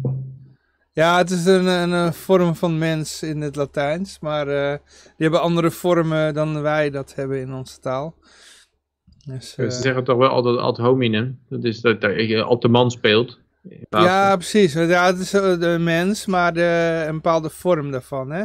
Dus wij hebben eh, in, in onze grammatica allerlei vormen in de taal. En dat is bij het Latijns weer anders. Dat is wat, wat ik, nog vind weet. Het wel, ik vind het wel mooi hoe jij Dat- dan, deze zin inderdaad voorleest, Johan. Hè, dan ben je dan toch een held, hè.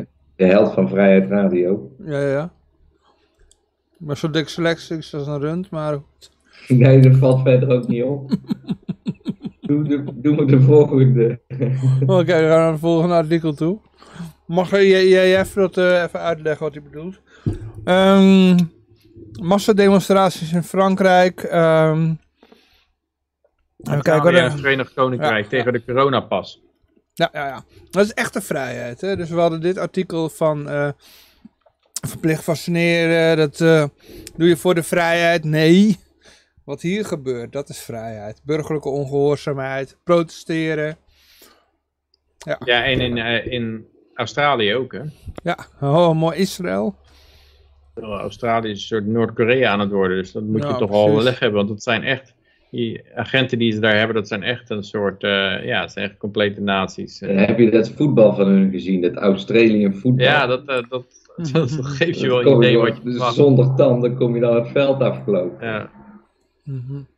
Ja, ik vind het zo bijzonder in dit artikel dat het nu tegenwoordig wordt de coronapas wordt het dan genoemd. Want het is uit naam van de medische veiligheid moeten wij ons allemaal laten registreren. Niet dat er eh, 17 door de Verenigde Naties 17 eh, social development goals zijn opgesteld waar eh, zo'n digitaal paspoort een onderdeel van is. Maar dan nee, door corona hebben we nou deze geweldige dit, dit of nee, het is niet zo geweldig, maar het is echt nodig door corona.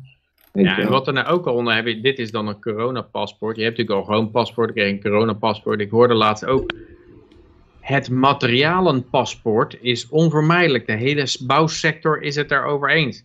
En wat is een materialenpaspoort? Dat je laat zien dat jouw cement eh, ethisch gefabriceerd is. Of eh, net zoals in, in UK kon je laatst ethisch verantwoorde coke kon je dan kopen. Woke, eh, de woke coke heette dat. Dat je, dat je wist dat het niet door kinderarbeid gemaakt was of zo, die, eh, die coke. Ja, daar betaalde je dan wat meer voor, maar dan was het wel eh, keurig, eh, keurig tot stand gekomen. En ja, ik, ik sta daar een beetje, een beetje van te kijken. Materialenpaspoort, dat betekent dus dat ja, wat, je, wat je normaal hebt gehad, eerst de, de westerse overheden komen met belachelijke eisen en reguleringen en je huis moet zo zijn en, en dit moet zo gefabriceerd zijn en de, de medewerkers moeten minimaal 20 euro per uur verdienen of zo. Wat er dan gebeurt is, oh dan laten we het wel in China maken en importeren we het. Zo, zo, dat is eigenlijk de, het gewone verhaal geweest. Een enorme reguleringslast, waardoor alle bedrijven hun productie verplaatst hebben eh, naar China. Of gewoon zijn, Chinese producten zijn gaan importeren. En eh, wat ze nou gaan doen is dat ze zeggen, ja, maar dan gaan we een, een materialenpaspoort eisen. Dus alles wat hier binnen wordt geïmporteerd wordt in Nederland, daar moeten we van bekend zijn. Waar komt die aluminium in dit, in dit ding vandaan, in deze fiets die wij uit China halen? Dus eigenlijk, eigenlijk maak je eerst het maken van fietsen in Nederland heel moeilijk. Dan worden die fietsen in China gemaakt en dan ga je zitten zeiken over hoe die handremmen tot stand zijn gekomen die daar op die Chinese fiets gemaakt zijn. Wat natuurlijk ook weer heel makkelijk te frauderen is, want de Chinezen zeggen, oké, wil je een formuliertje bij dat het allemaal eh, zonder slavenarbeid door geweldige ethische praktijken tot stand is gekomen en milieuvriendelijk en CO2-neutraal, eh, hup, hier heb je een papiertje erbij, no problem. Eh, maar, maar op een gegeven moment begint het wel uit de hand te lopen. Als iedereen gaat een paspoort eisen. Een CO2-paspoort, een materialenpaspoort, een COVID- COVID-paspoort. Behalve alle booster shots is dit ook nog iets wat op de loer ligt. Dat je, dat je naast eh, elke zes maanden een nieuwe booster shot ook elke zes maanden een nieuw paspoort erbij krijgen. Want iedereen, elke belangengroep wil weer een paspoort erbij hebben. Ja, dat wordt gewoon allemaal bijgeschreven. Dat is allemaal hetzelfde, dezelfde database. Ja, Zetten ze gewoon eronder. gewoon steeds meer in te staan. Nee, maar Ja. materialenpaspoort is eigenlijk een paspoort voor een, een materiaal dat je importeert. Of een fiets of zo. Of, of een, of een Oh. auto. Het is niet bij een mens. Dus voordat die auto van Japan naar Nederland moet, dan moet er een paspoort bij zitten om hem over de grens te krijgen.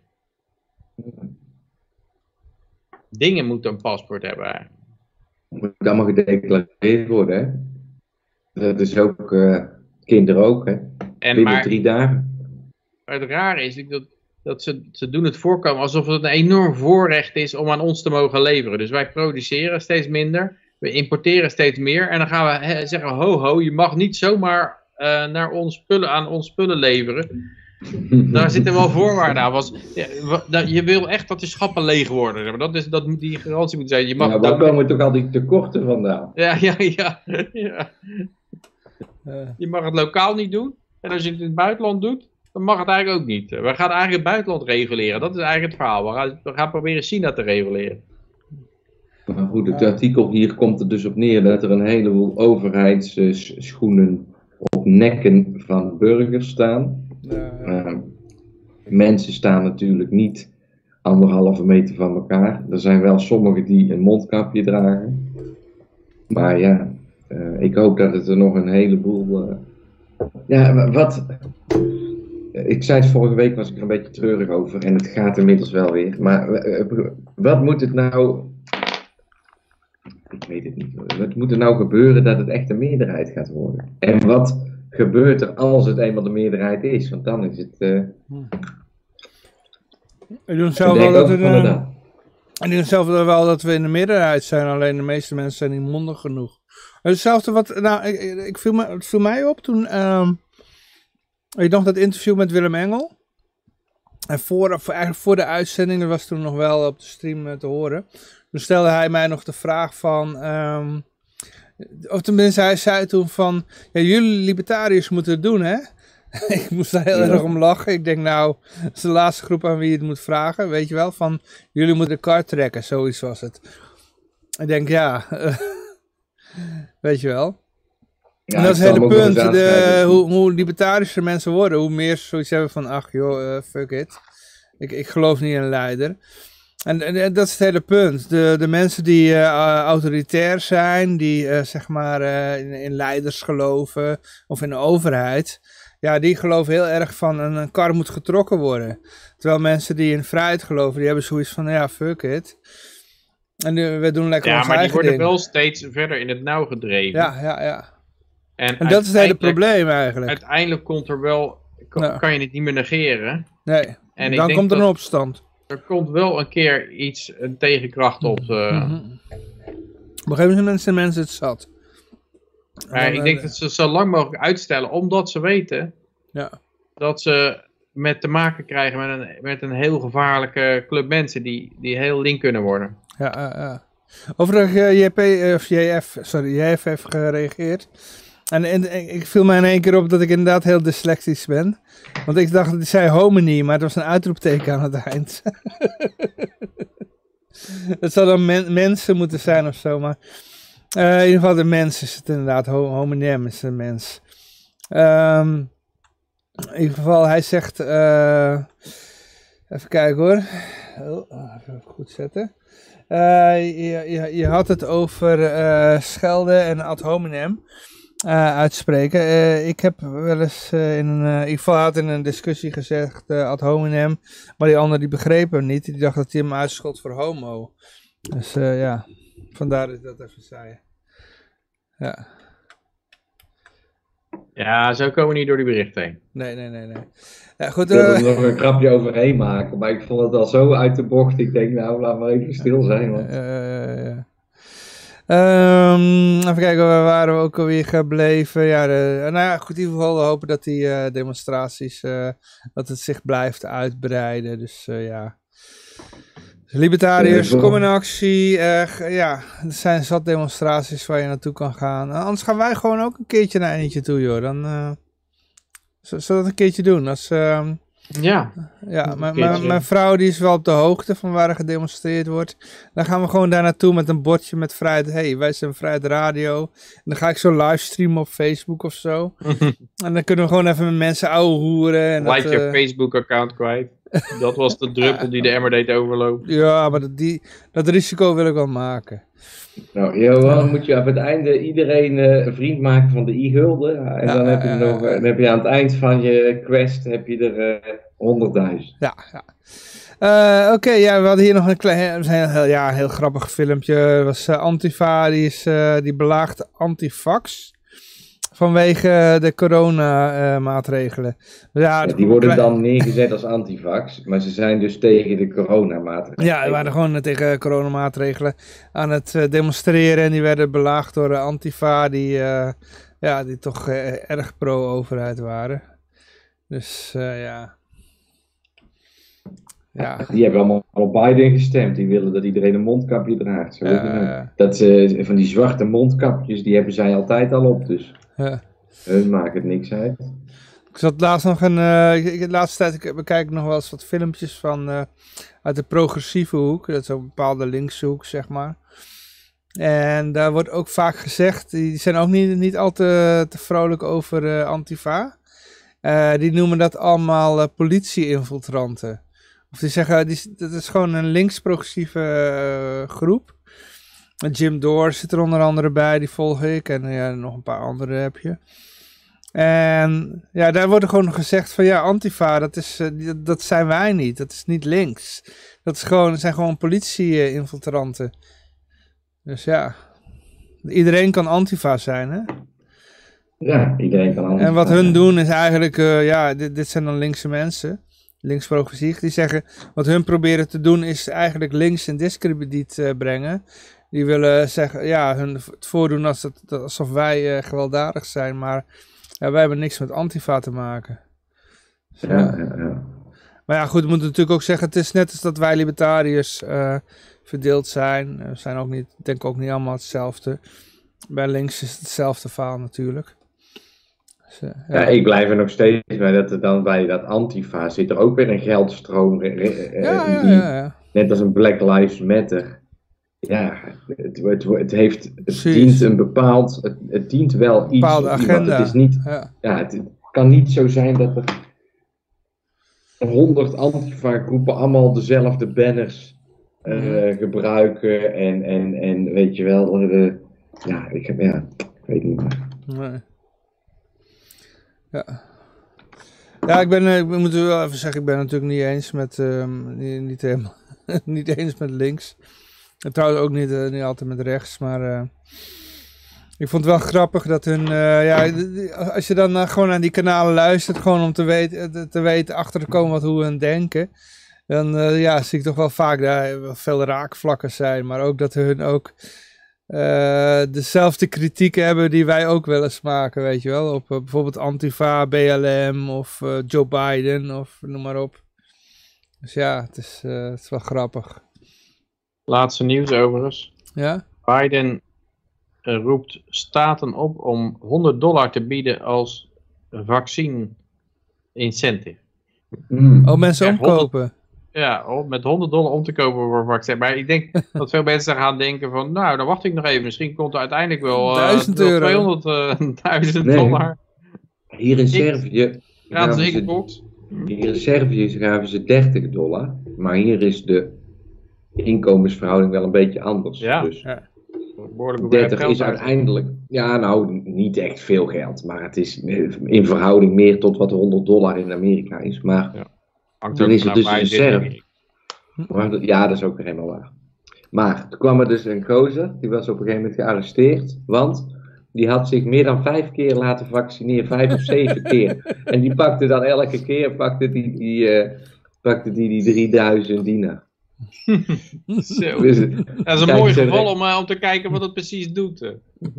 Ja, iemand gewoon elke, elke dag een keertje zo'n vaccin uh, laten spuiten.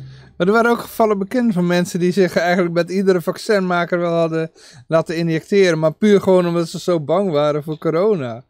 Dus die hebben zich voor al, die hebben gewoon alle shots genomen die er waren. en die hebben het wel overleefd. Dus, eh, Dat snap je toch niet, dat zulke mensen bestaan. nou, die zijn er. Ja, maar je krijgt wel het idee, tenminste wat, wat, wat ik ervan begrijp, is dat, dat langzamerhand je, je eh, immuunsysteem begint af te takelen. Dat je gewoon eh, ja, steeds Ja. verder achter, je wordt een soort AIDS-patiënt. eh, Hm. dat was het iedere, de idee in ieder geval van die, eh, wat er bij die, met die, die Fred ook gebeurde. Dus ja, ik, ik, snap niet dat mensen daar zo makkelijk mee omgaan. Oké, ja, nog niet volledig getest eh vaccin. Ah, ja, ik doe er zeven, want dan krijg ik zeven keer 3000 dinar. Misschien schat die Nou, in wacht dan- even. Hier zijn er ook wel mensen die nog in de vuilnisbak lopen te graaien voor eten. Dus in dat opzicht, Ja, dus als je het echt ook- nodig hebt, Ja. dan ga je gewoon... eh, ja, je zegt, ik kan de komende week overleven en die gevolgen die zijn pas later. Dus eh, ja, Ik wil Ja. niet weten wat Keith Richards allemaal in zijn lijf heeft gehad, joh. Keith Richards van de Rolling Stones. ja, ja. Ja. Eh, maar JP zegt, eh, ik ga op eh, wereldreis.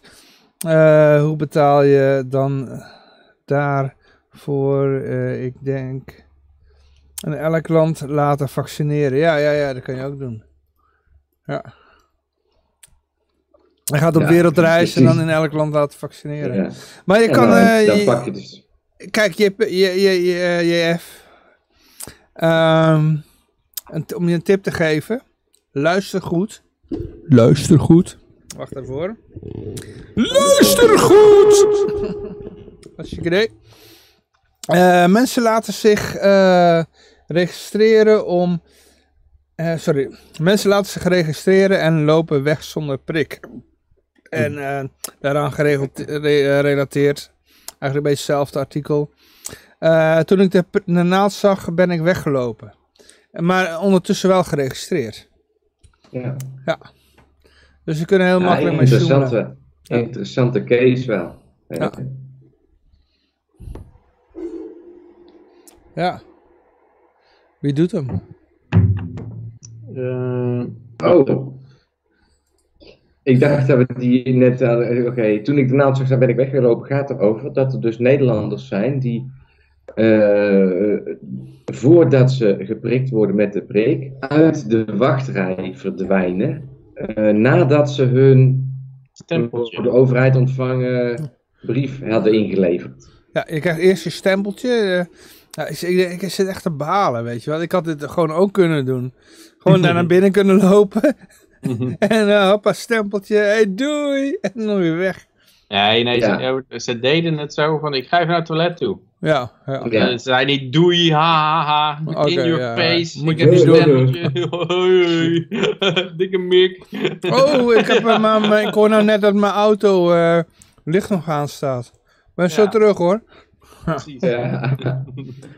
Oh, ik, heb geen, ik, heb, ik had nog geen geld in de automaat gedaan. Dat Oh, ik ben vergeten uit te checken. Ik kom zo terug.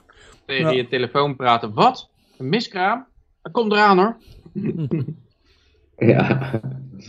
Ja, en daar, en daarmee zijn ze dus wel geregistreerd in Nederland als zijnde ontvanger van een prik. Maar ja, ze hebben er toch ook een aantal ertussenuit gehaald, zeg maar.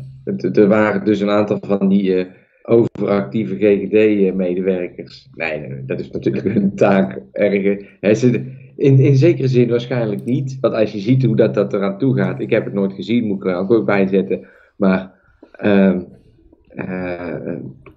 en ze hebben niet als, als taak zie toe op het eh, juist voltooien van die eh, cyclus. En in dit artikel staat dus dat hier na, dit, na deze ervaring, dat het nou een keer is opgevallen, gaan ze dus de procedure van stempelen, zeg maar, gaan ze nou aanpassen. Dus nu komt de fase dat ik dus GGD'ers moet omkopen. Ja, ja, precies. We zijn nou, ja, ja, ja. Je kan nou niet meer zo... ik was iets te ver vooruit. Zodra dat je zeg maar binnenstapt, krijg je een halsband om je nek. Ja. En dan, eh, nee, nee, sorry. dan kom je alleen maar onderuit als je een GGD'er omkoopt. Nee, gewoon met een halsband tot aan het einde van de deur gaat die, gaat die pas Nee, ik terug. bedoel, eh, Einde van de, van de gang. dat zijn mensen. Dat zijn onkoopbaar. Iedereen Ja, heeft zijn precies. prijs. Ja. Ja, ja, in Nederland is het wel moeilijk, denk ik, maar misschien niet. Misschien niet. Nee, die mensen verdienen kut.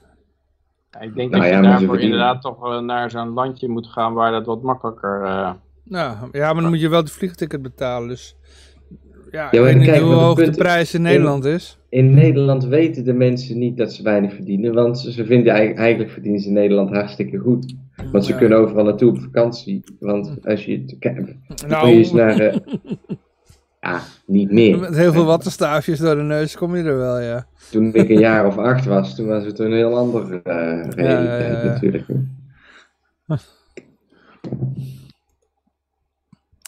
Nou ja, Ja, eh, eh.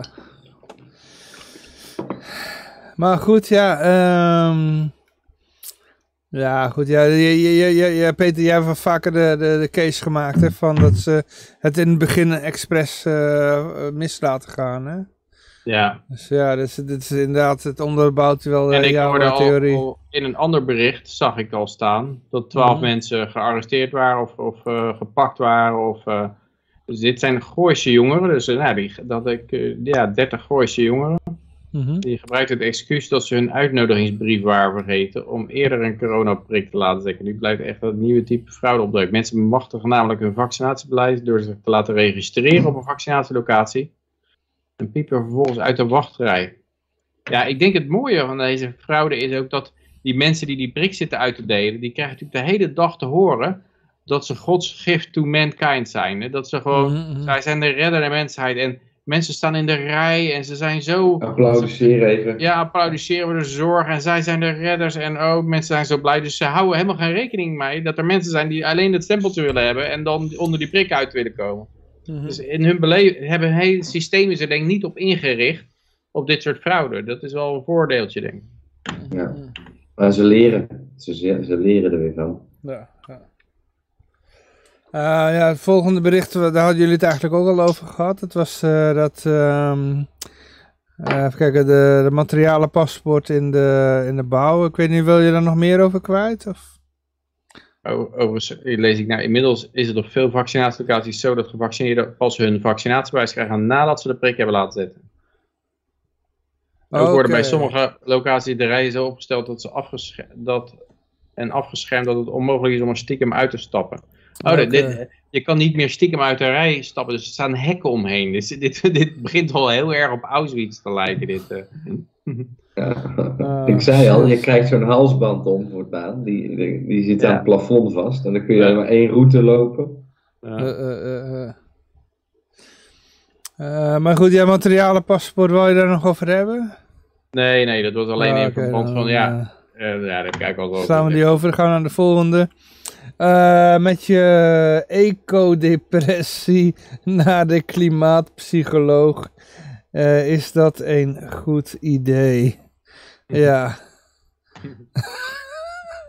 de titel alleen al. Mensen worden zo gedeprimeerd gemaakt door de planeet die aan het sterven is. En de planeet die huilt. En de plane- planeet heeft het zo ziet. We gaan allemaal verzuipen en verdrinken. En eh, het is een en al ellende. Eh, En eh, ja, het lijkt wel een Michael Jackson liedje. Ook niemand die zich druk maakt over de aankomende hyperinflatie. Waarmee Nee. dat alle pensioenfondsen in één keer weg waren. Nee. Nee, het is 1 graden opwarming in het jaar 2300. Dat is, dat is waar we ons ontzettend druk over moeten maken. What have we done? What have we done to this earth? Het zou gewoon deze 2021 kunnen zijn hè, dat het gebeurt. Eh, Maar het, is, het is wel frappant dat de hele truc is om mensen zoveel mogelijk te laten focussen op een, op een probleem dat er absoluut niet toe doet.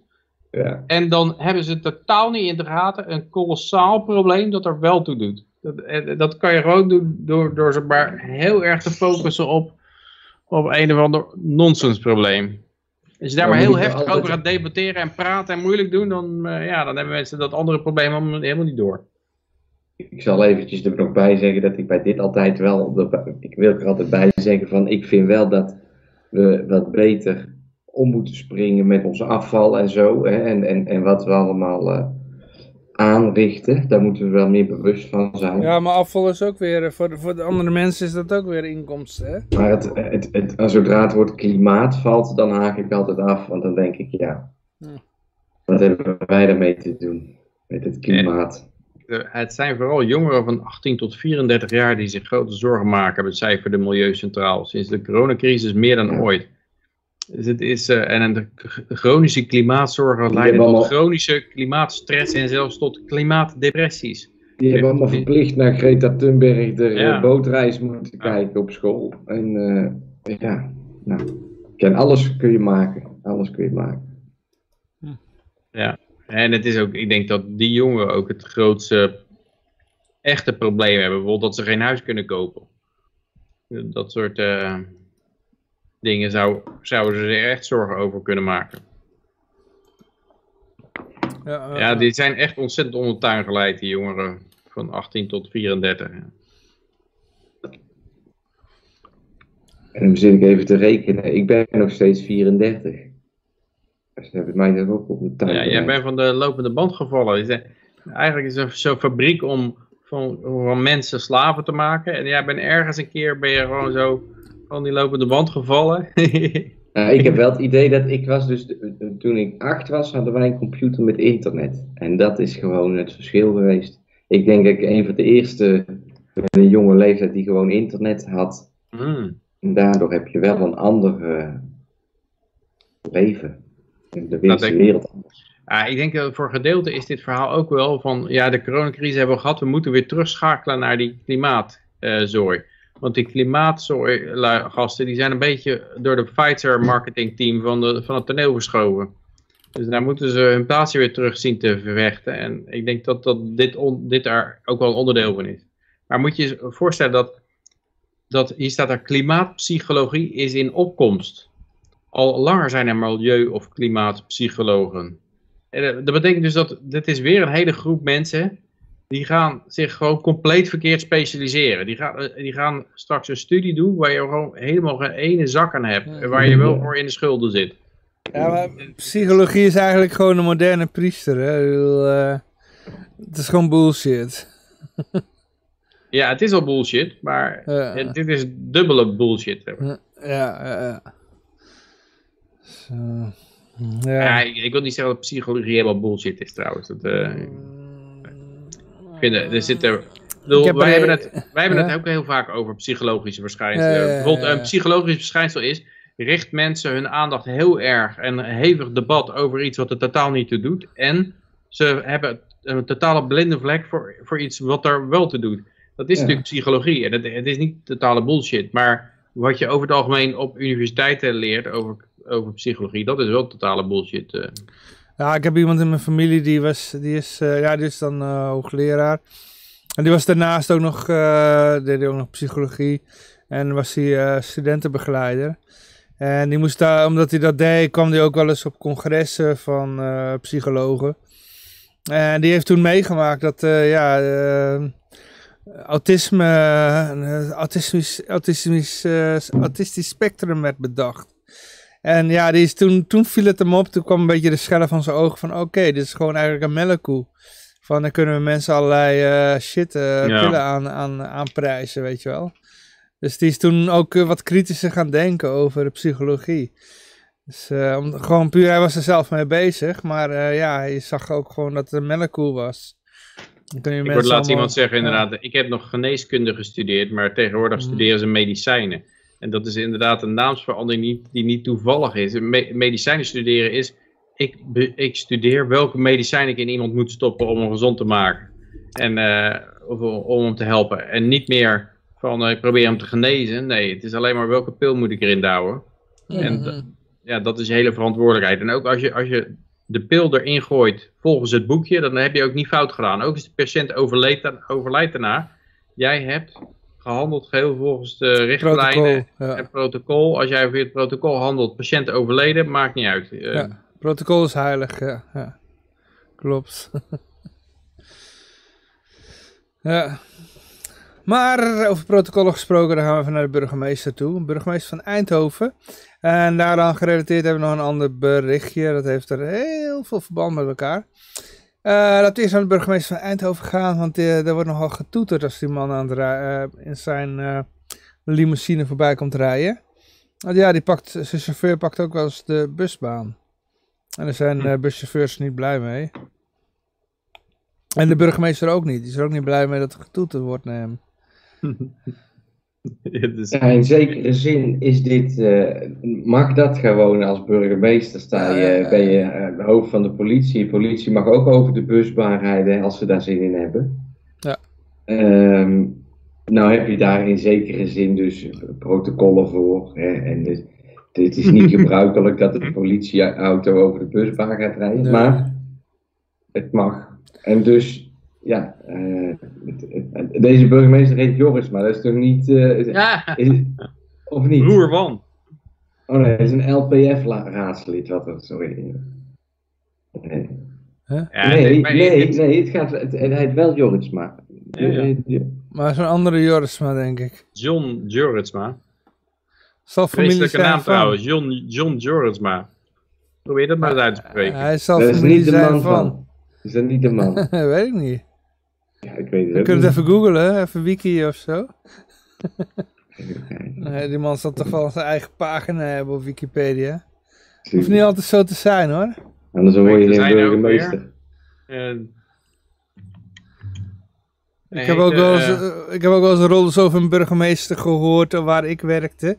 En toen wilde ik dat op internet gaan zoeken, maar dan, eh, daar kon ik helemaal niks over de man vinden. En zelfs bij eh, parlement en politiek was die man eh, niet te vinden. Dus eh, ja. Soms Ja, houden ze mensen buiten de schijnwerpers. Misschien dat die... eh, eh, nee, het, het, ze heet Annemarie Joritsma eigenlijk maar Annemarie Joritsma Lebbink. Ja, misschien is het de man van. Nee, maar Dus, zij eh, heeft hij- hij Lepping moet, als hij- tweede hij naam, moet- dus dat is de man. man Oh ja, het zou wel kunnen wel. Ja, dus misschien is hij wel de man die bovenop haar moet. Oh man, had het daar niet gezegd. Jorritsma, Proberen geen, geen familie van John Jorritsma, Oh, burgemeester. Oké, oké, oké, oké. Er zijn gewoon meer hondjes die fikkie eten. Dus eh, oké, nou mysterie Sorry hoor. opgelost. Sorry hoor. Ja, ik moest het Ja. toch echt even weten. Ik Ja, er zijn ook meer jonge pieren, dus eh, Ik ja. moest even. Ik heb niks met de rijschool in mijn plaats te maken. zijn er ook oude pieren. Ja.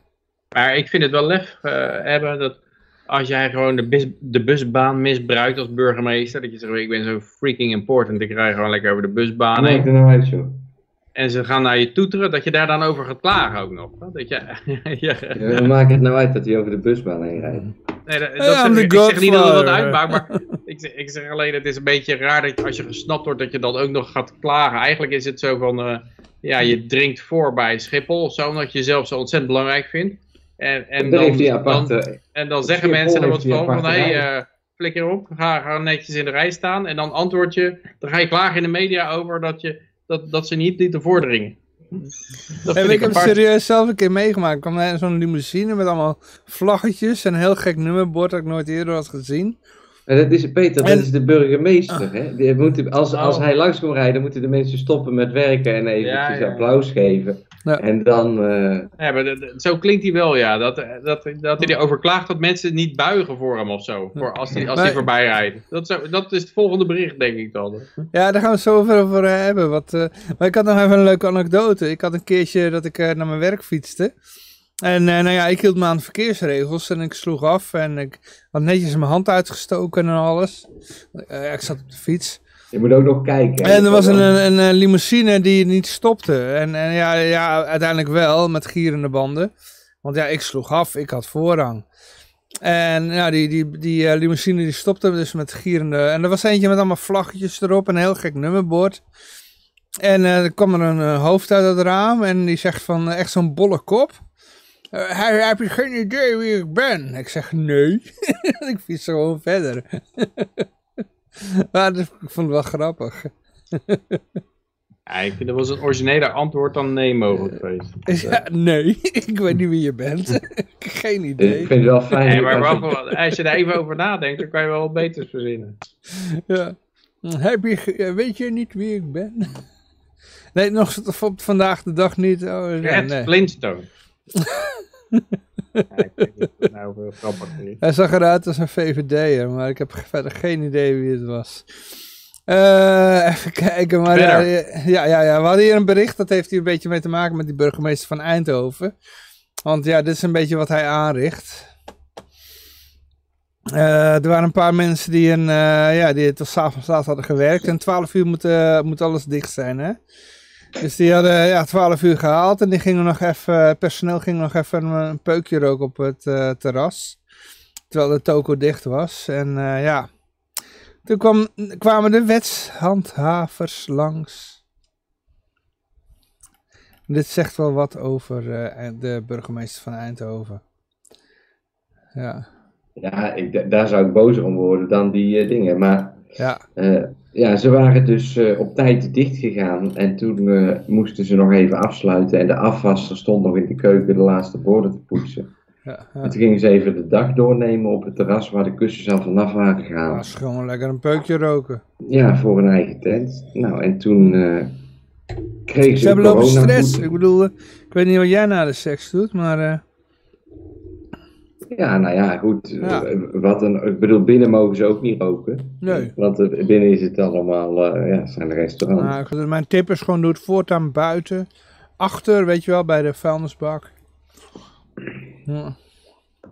Nee, gewoon weer asbakken op tafel, Johan. Burgerlijke Ja, ongehoorzaamheid. ja, ja. Maar dan krijg je wel dit.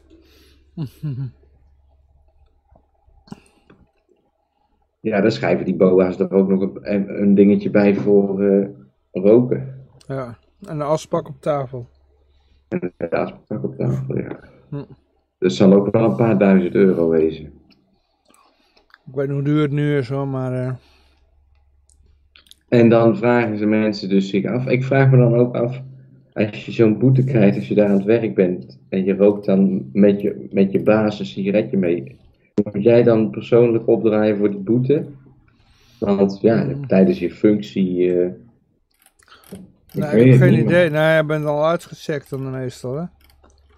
Nee, want ze waren nog aan het wachten op de... Ja, misschien was het al uitgecheckt. Ja, misschien was het gewoon solidariteit, weet je wel. Ja. Iedereen is uitgecheckt, maar we wachten nog op de Ah, afwassen. je, je hoeft er ook niet onderuit te komen per se natuurlijk. Ik heb Maar ook in de ja, horeca gewerkt. Het is toch een beetje samen uit, samen thuis eh, iets, weet je wel. Ja. Jij nog wel, Johan, maar op het RTL wordt geschreven, na horeca schreeuwt ook MKB om personeel. Ja, ja, ja. Jongeren werken nu bij de GGD's. Maak jij het bruggetje nou, joh? Nee, dat staat er nog achter. Dat is een quote. Ja, dat is het volgende bericht inderdaad. Oh, ik maak het berichtje. Ja, ik maak het bruggetje. Ja, ja, Ja. Ik, kan, ik wil het graag over die Noor hebben. Ja, maar goed, ja, dat dat wel een beetje een, eh, nog een relatie met, eh, met de burgemeester van Eindhoven. Want ja, dit is een beetje wat hij aanrecht. En ik heb wel meer dingen over Eindhoven gehoord hoor. Dus eh, het is gewoon ook weer gewoon een fascistische politiestaat. En dit verklaart ook wel een beetje het gedrag van die, van die burgemeester, weet je wel. Die heeft Ja, het gevoel dat hij boven alles staat. Dus ja. Je hebt Helmond. Huh? Helmond. Je hebt Helmond zit daar in de buurt. Ja. En, en al, ja, ja, ja. Daar is het vrijer Ja. of eh, minder? Ja, daar zijn het allemaal, daar, daar is de politie wat, eh, nou ja, daar zijn, heb je het niet meer gevolgd, de Blue Tiger? Ik volg niet alles. Nee, ik heb daar ook nee. niet de tijd voor om alles te volgen. Hè? Dus, eh, Oh ja, ik wel. Riepke Zeilmaker, die eh, Nee, nee. DNA werd Ik vind dat- afgenomen. Ik heb het laatst afgezet, want dan begonnen ze weer in het, met zo'n Fries accent. Vind ik wel ik leuk. denk, jongens, nee, ik vond helemaal niks. Ik denk, ik, ga, ik ben er klaar mee. oké. Is dat... Maar goed. Jij als Bravo irriteert je gewoon aan het Friese accent. ja, ik denk, als we nou allemaal ons eigen accent ook nog eens gaan houden, dan eh, zijn we helemaal Dat is al niet erg genoeg met die Limburgers. Nou, Maar die hele rechtszaak ging over gebruik van een Fries woord. Hij was veroordeeld voor het eh eh eh, verdoodskoppen of zo had hij gebruikt. En dat was het Friese woord. Maar dat betekent krijgen de kleren. Maar dat werd als een doodsbedreiging opgevat. Toen hadden ze er een taal van de expert van de Friese taal bij gehaald. En die zei, nee hoor, dat is gewoon krijgen de kleren in, eh, in het Fries. eh, en die, nou ja, de... En dan hadden ze dan Gerard Spong bijgehaald om te verdedigen. En uiteindelijk toch nog verloren. Hij heeft hij een strafblad. Hm. terwijl de expert dus zei van het stelt niks voor. Ja. Ja, Ja. ja. Ja, maar een D66-rechter die wilde daar dan gewoon een, eh, een, eh, ja, een be- hem een beetje sarren. Want ja, hij had een ambtenaar, eh, een corrupte ambtenaar genoemd. eh. Ja. Ja, ja. Ja, ik kijk al de hele tijd naar de foto van Noord, dus het maakt voor mij wel langer genoeg doorgaan. Ja. Maar ja, je had het volgende artikel al aangekondigd. Dan gaan we dat ook wel behandelen ook. Eh, na de horeca schreeuwt ook eh, MKB om eh, personeel. De jongeren werken nu bij de GGD. Wie had dat gedacht? Ja, maar jongeren, dan, dan, dan, bedoel, als die daar bij de GGD werken, dan moet er vast wel iemand omkoopbaar zijn. Voor een kratje bier. Ja, bijvoorbeeld. Ik had gewoon Ja, 100 dat- euro in gedachten, maar... Nou zijn die Hey, boomers de kratje lul. bier, eh hartstikke idee, prima.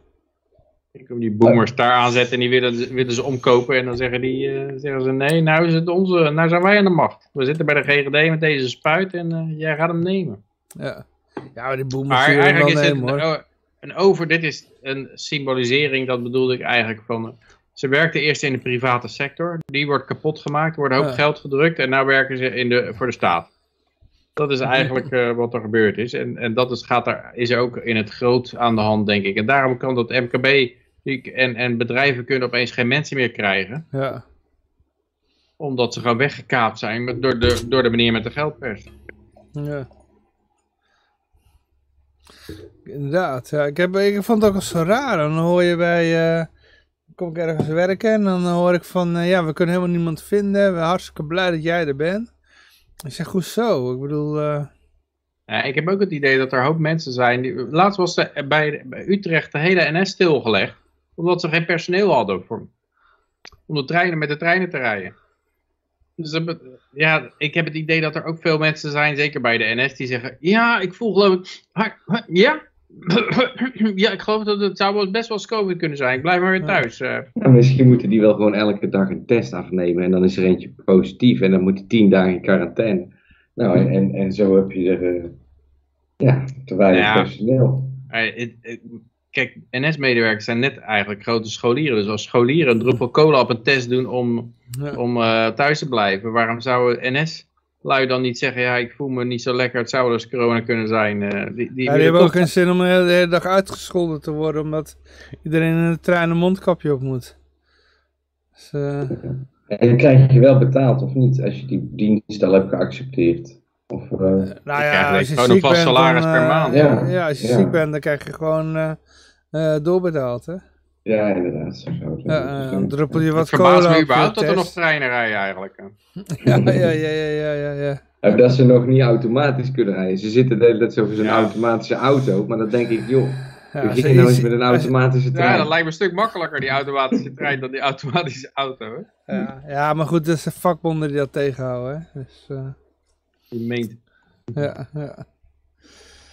Maar eh, jij had ook nog wat eh, opvallende berichten in de, in de groep gegooid, eh, Peter. Eh, Nederlander eh, 53 verdrinkt in Italië tijdens een, eh, een zwemuitje met zijn kinderen. En eh, daaraan gerelateerd ook nog een Nederlandse man van 73 die stikt in een eh, stukje vlees op een terras in Frankrijk. Wat is het ik- verband? Nou, het verband is, eh, mensen die op vakantie zijn, vallen massaal dood neer.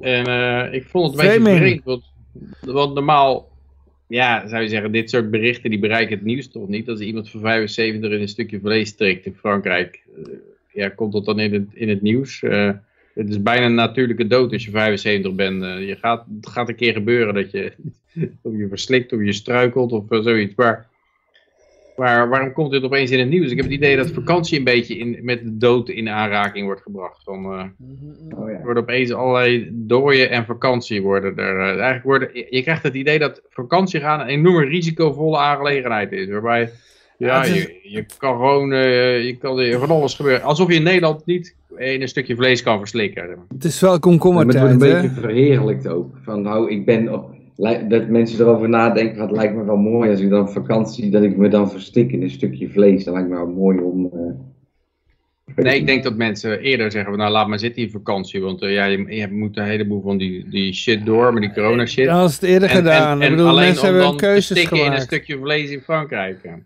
Mensen hebben al lang hun keuzes gemaakt als ze op vakantie willen. Dus dan, eh, ik- ja, nee, ik- denk dit is gewoon komkommertijd en eh, ze zoeken opvulling. Oké, ik zag opeens die twee berichten bij elkaar. Ik denk, wat krijgen Ja. we nou? eh? Mensen zijn op vakantie, dan krijg je dit soort berichten.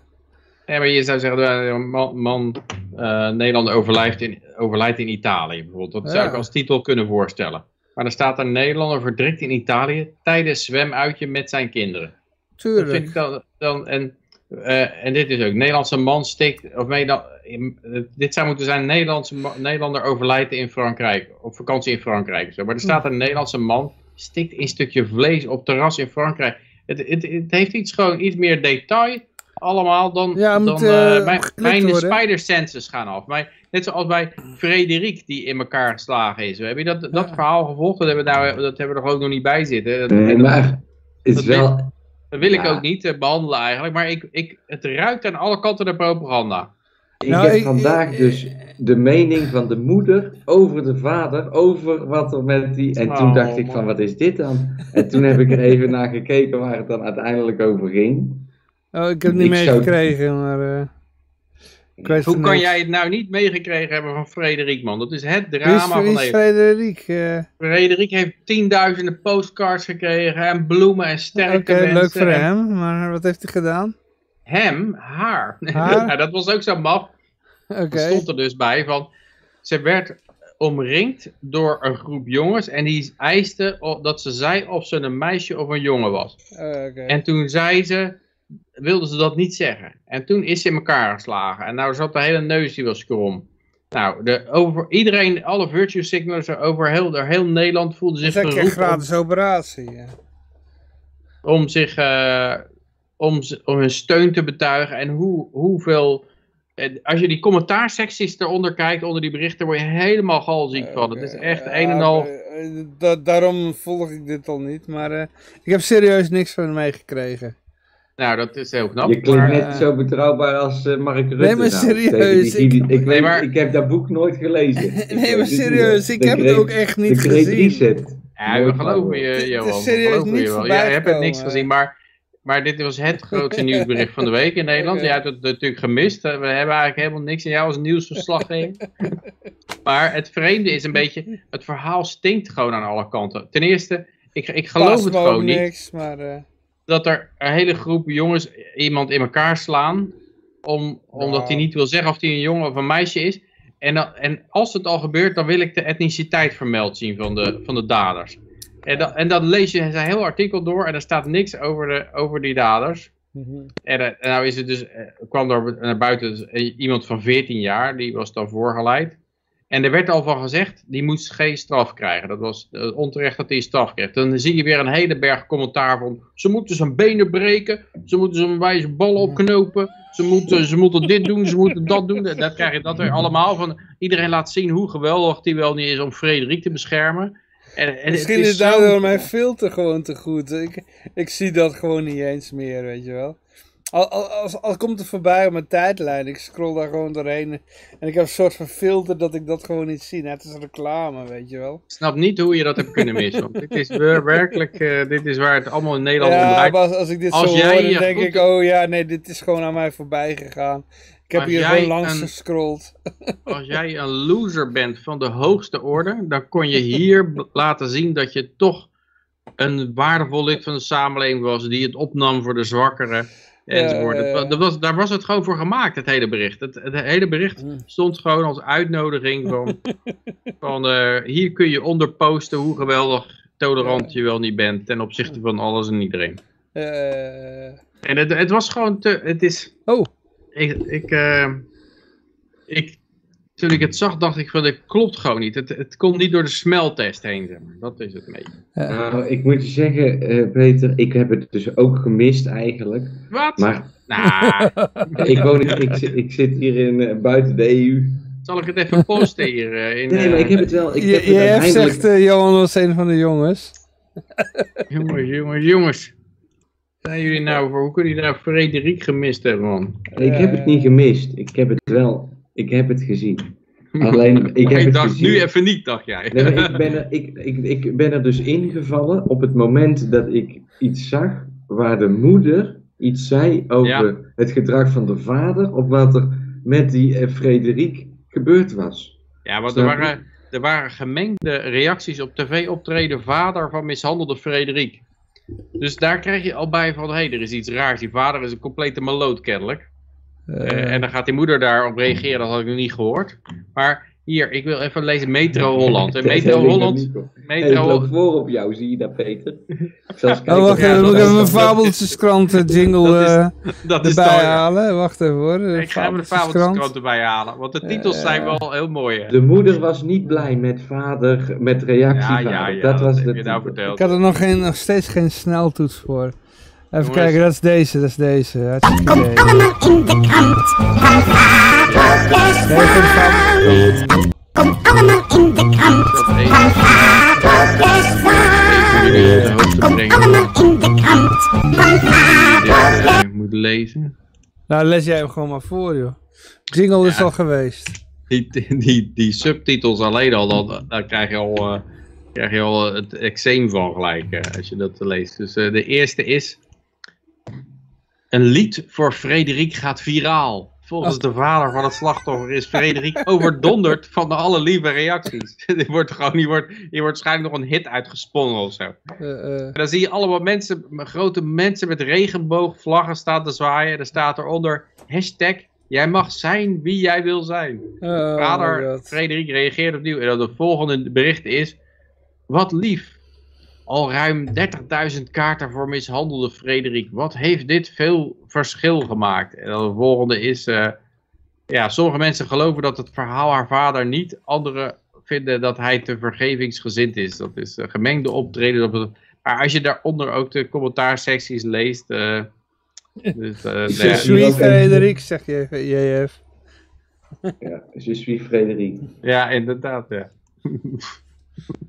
Ja, ja. ja. Ja, god.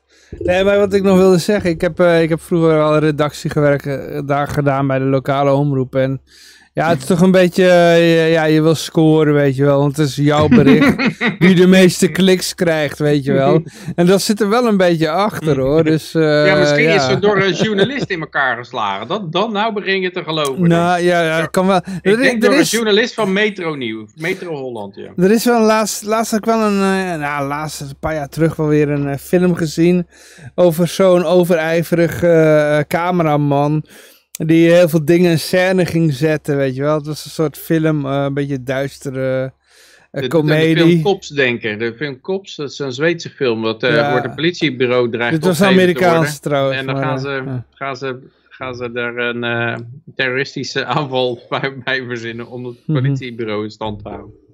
Ja. Ja, dit was een film van een, waarbij een cameraman allemaal dingen in scène ging zetten om eh, te scoren, weet je wel. En aan het eind van de film, eh, ik zal even de, de ik, ik weet even de naam van de film niet meer, maar ja, aan het eind van de film komt hij nog mee weg ook, weet je wel. Dus eh, ja, Hé, kijk, hier zie ik het. Bij de daderomschrijving stond dat het een jongen met Marokkaans of Afrikaans uiterlijk Ja. was. ja eh, zo wat Ja. eigenlijk, zo wat. Hashtag, jij mag zijn wie je wil zijn. Ja, Ja. het- ja. Het is, eh, en, en, en wat ik ook vond, in sommige artikelen stond, meisje wordt in elkaar geslagen. Denk ik, ho, ho, ho, ho, meisje. Joh, eh, dit heb kan je niet begrepen? Je, je kan niet zomaar, je kan het niet zomaar een meisje noemen, want dat, eh, daar is ze zelf dus niet mee akkoord.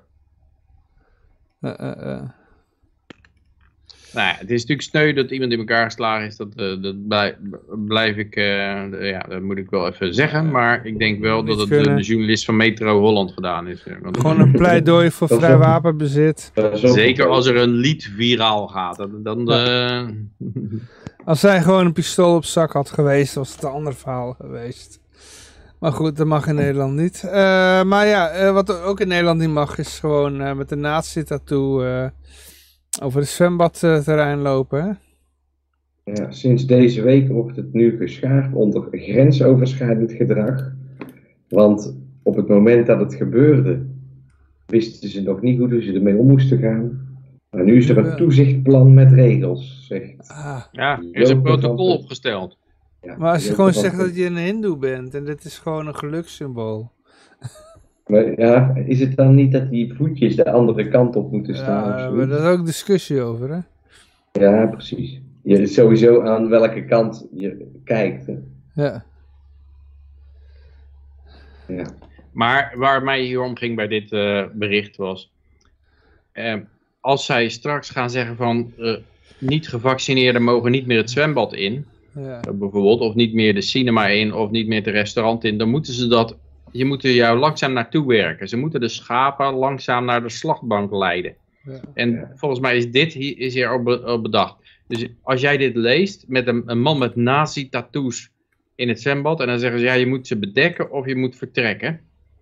Eh, dan denk je, ja, inderdaad, eh het is net zoiets als het censureren van, eh, eh, hoe heet die ook weer, de, de, die gast uit Texas, uit Austin. ehm eh, eh, Er een paar miljoen mensen. Ja, die, die eh, schreeuwer. Die, die- Oh, eh, Alex Jones, oké. Alex Jones, ja. Dus als Alex Jones gece- ge- gecensureerd wordt, dan haalt iedereen een beetje zijn schouders op van ja, het was toch een beetje een luidruchtige schreeuwer. Eh, eh. En hierbij haalt ook iedereen zijn schouders op van eh, ja, eh, er wordt iemand geweerd uit het zwembad, eh, al die, die nazi-tattoos heeft. Dan denk je van nou ja, ik kan me ook geen bal schelen dat die er niet in mag. Maar dan, als je eenmaal met principe akkoord bent gegaan, dan is de volgende stap, net zoals de volgende stap bij censureren, gaat dat steeds verder. En zo gaat dat hier denk ik ook steeds verder bij het zwembad. Dit, dit Maar Peter- zo'n D66 dit is zo'n nieuwsbericht die wordt geschreven voor D66-rechters. En die moeten dat allemaal Ja. lezen. Peter, maar ken jij Barry Goldwater? Ja, het is een eh, oude presidentskandidaat geloof ik. En waar was hij onbekend? Ehm, ja, dat Civil weet ik niet. rights. Dat weet ik niet. Eh, winkeleigenaren die gewoon negers wilden weren. En hij was daar tegen, eh, dat, dat, hij was tegen die, die, eh, hoe noem je dat, waar iedereen zo lovend over is vandaag de dag van eh, afschaffing van de apartheid in Amerika. Ja. Maar hij, had, hij was principieel. Hij zei nee. Eh, Zo'n winkel, alleen de winkeleigenaar mag bepalen wie er wel en niet in die winkel zoals alleen mag de café-eigenaar mag bepalen of er gerookt mag worden of niet. in Ja, zijn zaak. precies. Het is eh, zijn eigendom, het is een schending van het eigendomsrecht. Ja, ja. Hetzelfde van de eigenaar van het zwembad mag bepalen wie er wel of niet in dat zwembad komen.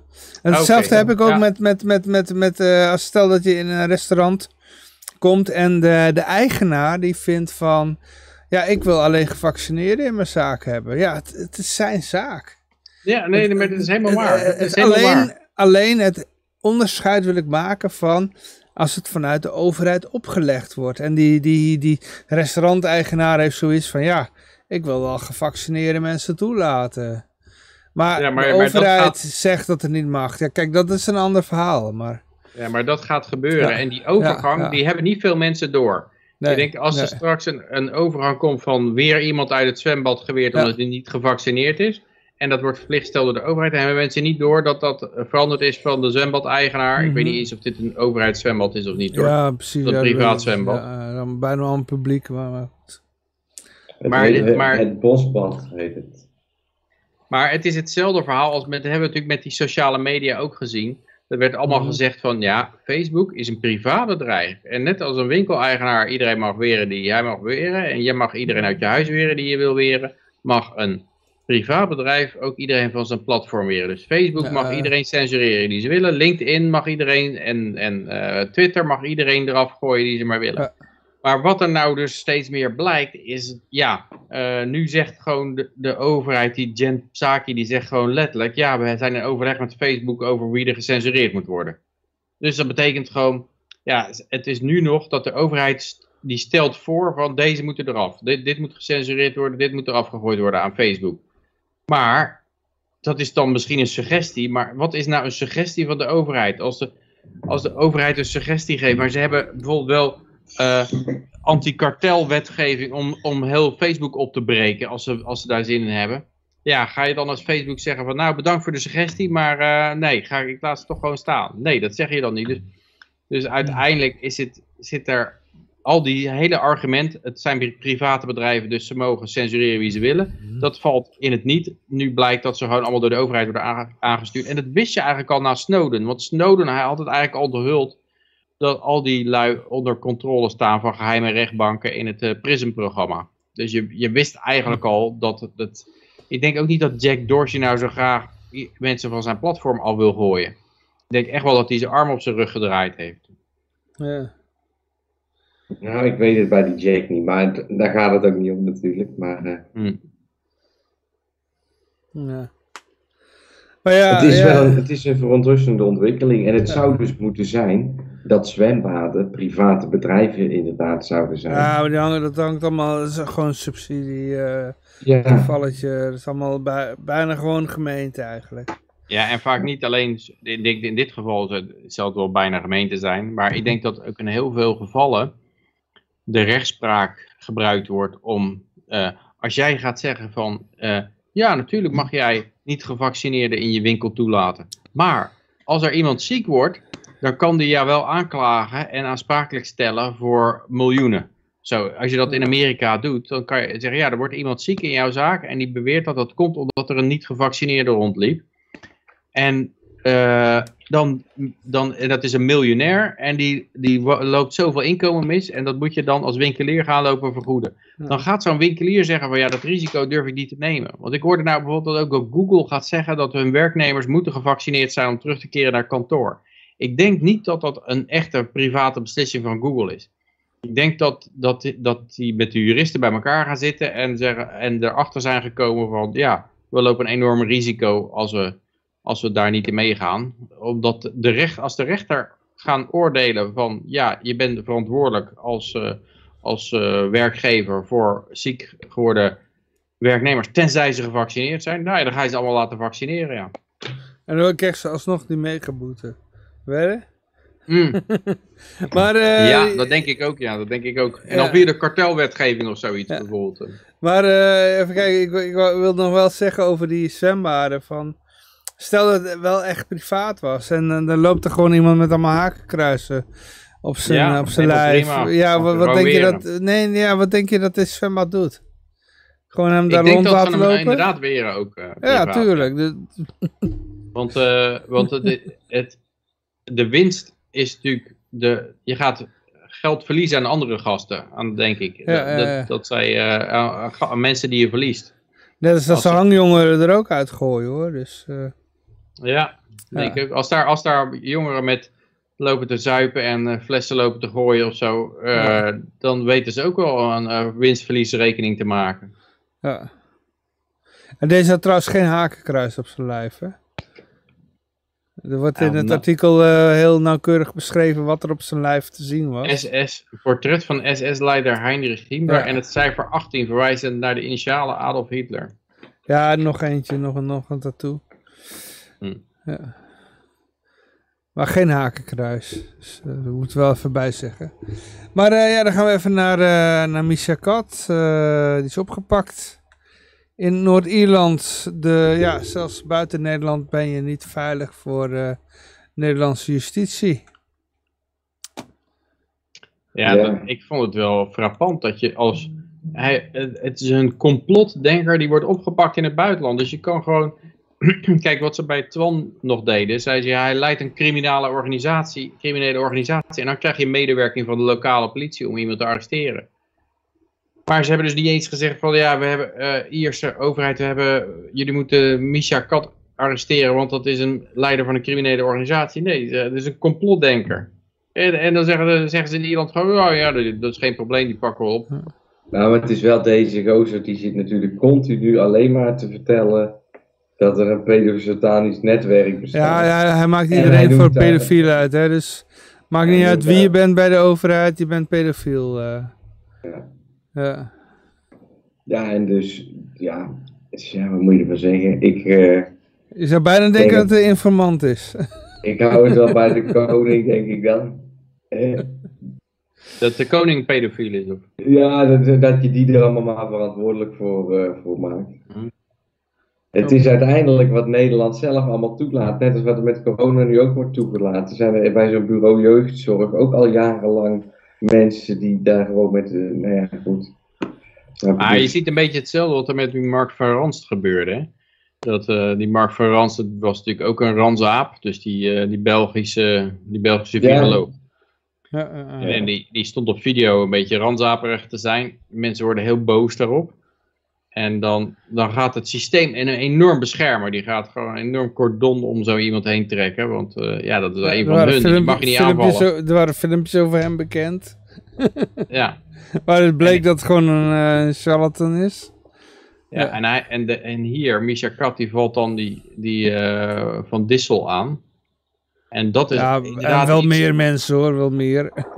Ja, hier staat bij genoemd, het aangifte tegen, de RIVM deed aangifte tegen de omstreden publicist, omdat hij sinds het begin van de coronacrisis een hetze tegen directeur Jaap van Dissel voert. Eh, Die, laat dus, die zegt tegen mensen: ga naar het graf, het kindergraven in dit dorp en leg daar bloemen neer. Dat je, spijt dat, eh, hoe heet welke naam heb je? Jaap van Dissel? Ja, Jaap van Dissel bestaat of zoiets. Nou, Ja? gaan mensen daar, leggen daar massaal bloemen bij, allemaal kindergraven van eh, het spijt me dat Jaap van Dissel zo eh, verschrikkelijk gedaan heeft. Ja, het is wel een, eh, Ja, een dus, knappe publiciteitsstunt. ja, ongeveer hè. Ik, eh, ik, het is Hm. natuurlijk ook weer... eh, Ja, kijk, ik, ik heb met die pedofilie zoiets van. eh, ja, na Jeffrey Epstein durf ik niet meer te zeggen van ja, het is allemaal onzin. Maar ik denk dat er nog steeds een hele hoop onzin bij, bij zit. Eh, Het is gewoon niet de hoofdzaak. Het is niet waar het uiteindelijk om draait. Het is... Het, is, het, zal best er zijn, weet je. wel. Ja, ik, Je ik heb zelf het idee, ik heb, ik heb me wel een beetje verdiept wat hij allemaal beweert. Ik, ik denk dat dit eh, de, de, de, te veel de andere kant op gaat. Hm. Dus eh, ja, kijk, eh, dat, de pedofielen zijn oké en pedo pedoseksuelen moet ik dan zeggen.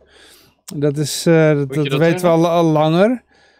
Ja, pedofiel is iemand die valt op jongens, maar die doet- voegt niet de daad bij het woord. En pedoseksueel voegt wel de daad Ja, bij het woord. Ja, ja, dat is een onderscheid. Het is een pedofiel. eh, die kan op jongens vallen en die erkent dat, maar die weet van hé, hey, dit is niet goed. En die voegt niet de daad bij het woord.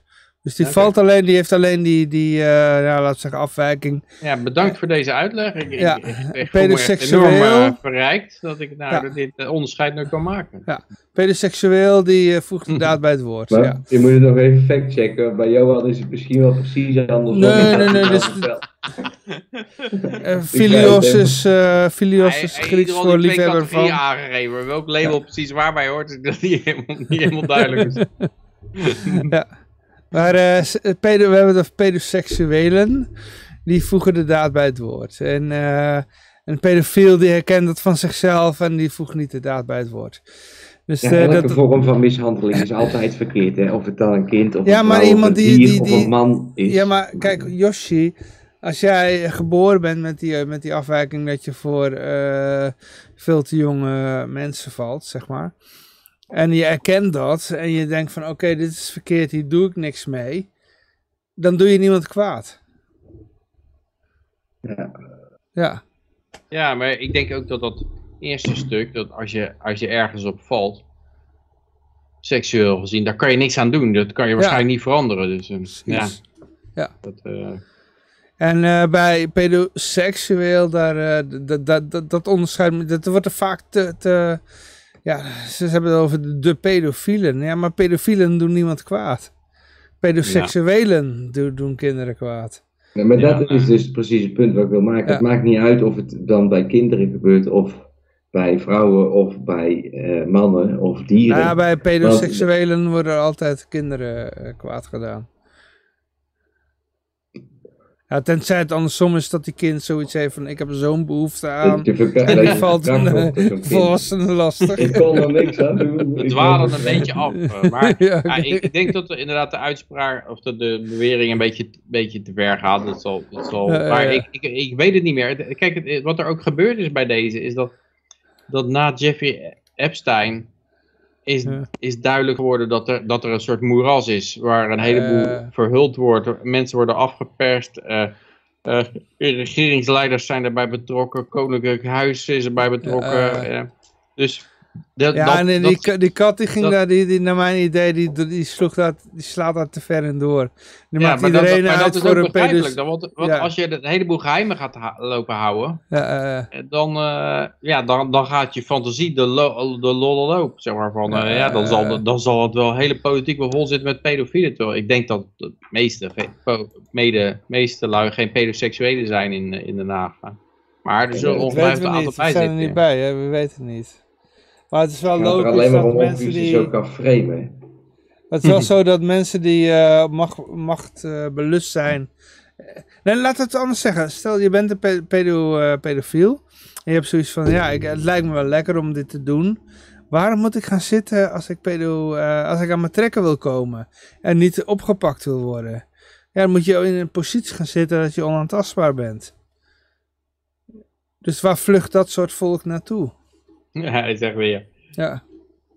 Zo, In het, in, hij ging naar Ier- Ierland en in het buitenland ging hij via dagelijkse livestreams door met zijn bizarre beschuldigingen. Onder meer door te stellen dat voormalig secretaris-generaal van Justitie Joris Demming verantwoordelijk is voor het vermoorden van kinderen.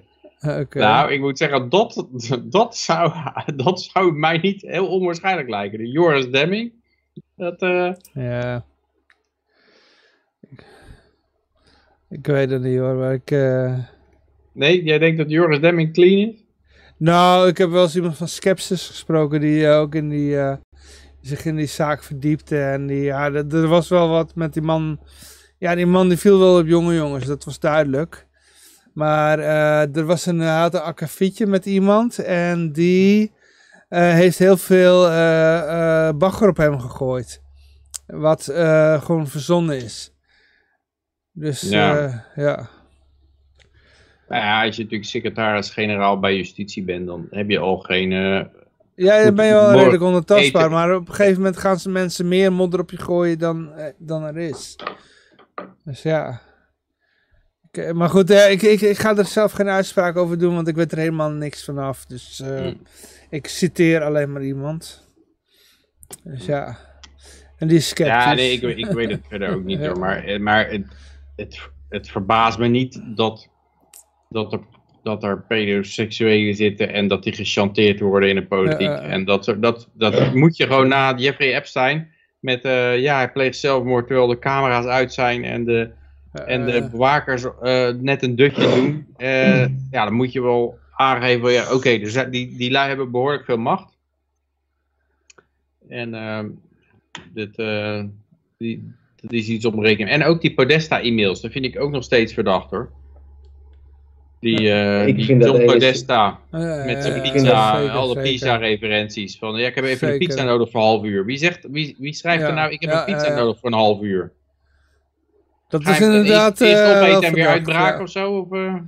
Ja, ja het, is- het zou mooi zijn als dit gewoon echt eh, openlijk besproken kon worden en onderzocht kon worden en dat er echt journalisten bovenop konden zitten. Het Hmm. punt is, dat kan niet en dat zegt, dat zegt eigenlijk al genoeg. Ja, en dan wordt het overgenomen En door da- dat dan soort mensen kijk- als dan- Misha ja, Kat, die ja. gewoon die het helemaal doortrekken tot in het extreme. Dat, eh, ja. Ja. Dat, eh, ja, ik kan, me, ik kan me voorstellen dat dat gebeurt. Ja. Ja. Het zou mooi zijn als dit gewoon openlijk eh, onderzocht kon worden. Ja. Ja. Eh, maar goed, ja, even kijken. Ehm, homoseksuele. Eh, even kijken hoor. Eh, homos- homoseksuele mannen zonder IVF. Zouden een IVF-behandeling vergoed moeten krijgen. Ja, inderdaad. Wat is IVF-behandeling? In vitro fertilization. Oké. Ja, dat, dat Het je, is een dat- uitspraak die nu geweest is. Hè? Dit, is dit is vastgesteld nu. ja. Maar wat is Deze een De rechtbank IVF-behandeling? in Arnhem. Maar ik, ik weet gewoon, ik weet niet wat het nou inhoudt ook. Nee. dat is het hele. Dus, dus als je bij een echtpaar, die kunnen dus een in vitro fertilization behandeling aanvragen. En, en dat wordt ook vergoed, geloof ik. Als ze niet zwanger kunnen raken. En dat betekent dat er een eitje wordt uitgehaald. En er wordt dan extern wordt dat, eh, bevrucht. En dan wordt het weer teruggeplaatst als het bevrucht is. Of zo. En dan, krijg je, dan kunnen ze daar een baby van krijgen. Zoals ik het lees, zoals ik het lees, wat er dus gebeurt, als je dat met een echtpaar, met man en vrouw doet, dan zeggen ze, ja, dit is een, eh, als je dat moet betalen, dan kun je dat als, eh, eh, van je inkomen afhalen. En dan heb je dus een lagere belastingdruk op je inkomen. Snap je?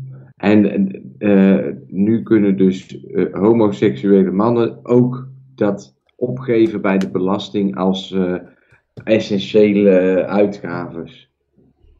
Maar, maar wie zijn eitjes worden er bij twee homoseksuele mannen eh, verwijderd en extern bevruchten? Dat weet ik dan weer niet. Dat heb ik, dat heb ik niet meegekregen. Het is een fiscaal iets, dit zeg jij eigenlijk. Ja, dit, dit, zo lees ik het. Zo lees ik Iedere het vorm van belastingontwijking eh, Ja. juich ik toe. Nou, nou word ik nieuwsgierig. Want, want, eh, is, dit een, is dit een Hey, zullen wij ons scheme- ook inschrijven als een om homo... belasting te ontwijken? Dit. Zullen wij ons ook inschrijven als een homoseksueel stel? Ja. eh? ik, ik ruik mogelijkheden. Ik ben een man. Ik ben Twan, een man luister je? Ik ben een man en het lukt me niet om zwanger te worden. Krijg ik nu belastingaftrek? Twan, eh, Twan, als je dit hoort, Ja. Dit is het nieuwste van het nieuwste op er zijn nieuwe belastingontwijking. mogelijkheden. Maar je moet eerst heel die kosten gaan maken. Hè? Ja, hoe dan?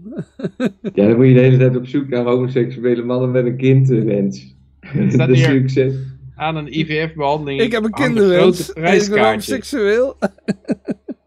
Aan IVF-behandeling hangt een groot prijskaartje. Ook voor een homostel uit Gelderland dat de zaak aanspande. Het kostte het stel 167.000 dollar.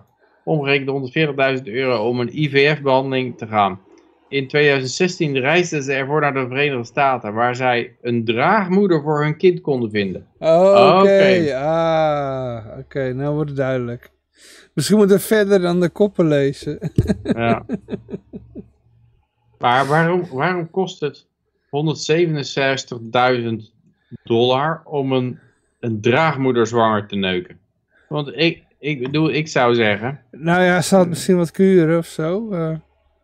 Nee, maar het moet toch veel goedkoper zijn om iemand zwanger te krijgen dan... eh, of oh, je nou moet ja, eh, mijn, mijn, mijn, mijn, ja ik, ik wil even geen naam Nee, noemen, wacht maar even, ik ken iemand in Die mijn vrouw die moet familie 167 die, eh, die wilde, een stel en die wilde zwanger worden. En dat was heel moeilijk en dat lukte maar niet.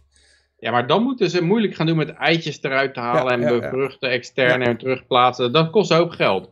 Maar dan heb je twee homo's en die gaan naar een draagmoeder toe. En die draagmoeder moet zwanger gemaakt worden. Dat kan heel goedkoop, zeg ik dan. Ja, maar goed, ze hebben afspraken gemaakt, eh, contracten getekend en... eh, Ja, misschien dat die vrouw heel veel geld ervoor wil hebben. Dat, dat, dat is het misschien, ja. Ja, tuurlijk. Ja, nou ja, Ja. Misschien voor Twan nog steeds mogelijkheden. en dan moet ze ook nog in een bepaald land wonen of zo. Ja, ik, ik heb het een beetje gemist. Ik, zat weer, ik was weer afgeleid, maar het was. eh, de zaak gaat er dus om dat deze mensen. Ja, ja, ja, ze is een Oh, draagmoeder en die is moeilijk eh, zwanger te neuken. Nee, en ze hebben van de kosten die ze gemaakt hebben, een deel dus geprobeerd bij de belasting af te trekken. En toen zei de Belastingdienst dat de aanvraag eh, niet werd eh, ingewilligd, omdat het koppel niet wordt gezien als onvruchtbaar, ziek of invalide. Nee, maar de draagmoeder, daar gaat het om. Ja, maar zij worden dus niet, worden dus niet gezien alsof ze dat nodig zouden hebben in hun leven. En daarom Nee, worden die kosten niet toegekend. En dat is nu deze Dat week is discriminatie. de rechtbank van Arnhem. Ja, maar het is in natuurlijk een beetje vreemd. Kijk, hier staat... Toen een homostel met behulp van twee vriendinnen gebruik wilde maken van een IVF-behandeling. De, eicel, de eicel van de ene vriendin zou bevrucht moeten worden met het zaad van een van de vaders. Eh, vervolgens zou het embryo geplaatst worden in de baarmoeder van de andere vriendin. Zo luidde het plan. Dus, dus je gaat het eitje van de ene nemen, bevruchten met een van de vaders en dan terugplaatsen in de baarmoeder van die andere. Ja, het is ook heel erg ingewikkeld om het eh, heel erg ingewikkeld te maken. En maar ja, ja, ik zou zeggen, waarom je een hele dat? mooie belastingconstructie omheen bouwen hoor. waarom doe je dat IVF? Waarom, waarom niet gewoon, eh, ja, gewoon de, de normale manier, toch? Dat kan er ook wel. Het is een beetje raar om dat IVF te gaan lopen doen dan. Dat- nou, als, dat, als dat je 100.000 euro kost, dan, kost het, dan is het dus 100.000 euro extra om gewoon niet even die meid eh, eh, vol te spuiten. Ik denk dat het gewoon twee libertarische homo's waren. Waarom denk je dat de Belastingdienst er zo moeilijk over deed? Ja, ja dat zou kunnen zien. Ja.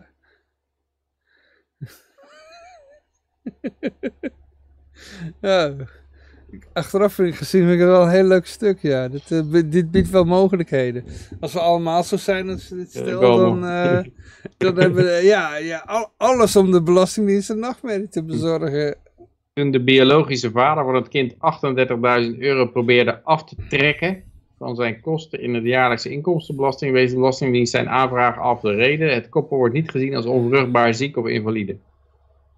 Ja, ik zou af- dat aftrekken, dat, dat, is, eh, dat is natuurlijk een cruciaal punt hier bij dit homostel. Ja, ja. dat, eh, er, is, er is afgetrokken. Oh, je moet niet afdru- afdrukken. En, eh, maar, maar dan kan er niet van de belasting afgetrokken worden. Dat is heel vaak dat, dat de Belastingdienst Hmm. niet thuisgeeft bij het aftrekken. Maar goed, hij gaat in beroep toch? En dan krijgt hij gelijk toch? Met een D66-rechter. Ja, Die, die, durft gewoon een... eh, ja, dit is ideaal dit. ja, dit is virtue signaling à la... We moeten Ja, ons allemaal, homo, allemaal, allemaal homo worden, mensen. Ja, Straks weer een Frederik-achtig bericht. Dan gaat er weer een lied viraal. Zing, iedereen zingt in koor. hey, eh, Betaal mijn ei. Betaal mijn ei. naar het volgende bericht gaan, denk ik. Ja, ja high-end gaming eh, is illegaal in zes eh, staten van de VS. Ja, Ja. Dit is een soort eh, verkapte reclame hoor, dit bericht. Het is een beetje zo'n... eh, Nou ja. Maar het is dus als je naar een Dell-website gaat en je, je neemt daar de krachtigste PC. En je woont in Californië, Colorado, Hawaii, Oregon, Vermont of Washington. Dan kan je die, een, die PC niet kopen. Ja. Want die, die verbruikt te veel energie. Dus is een stofzuiger in de, in de. EU. Nee, dat is een hele rare. Dus je, maar je mag er wel Ja. een Tesla kopen in die, in die staten. Ja. Die gebruikt niet te veel energie. Maar een, een stevige PC, die gebruikt wel te veel energie.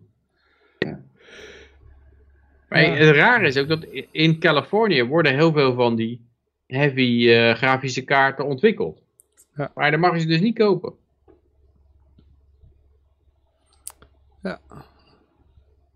Ongekend eigenlijk. Effectively banning high-end pre-built gaming PC's. Ja.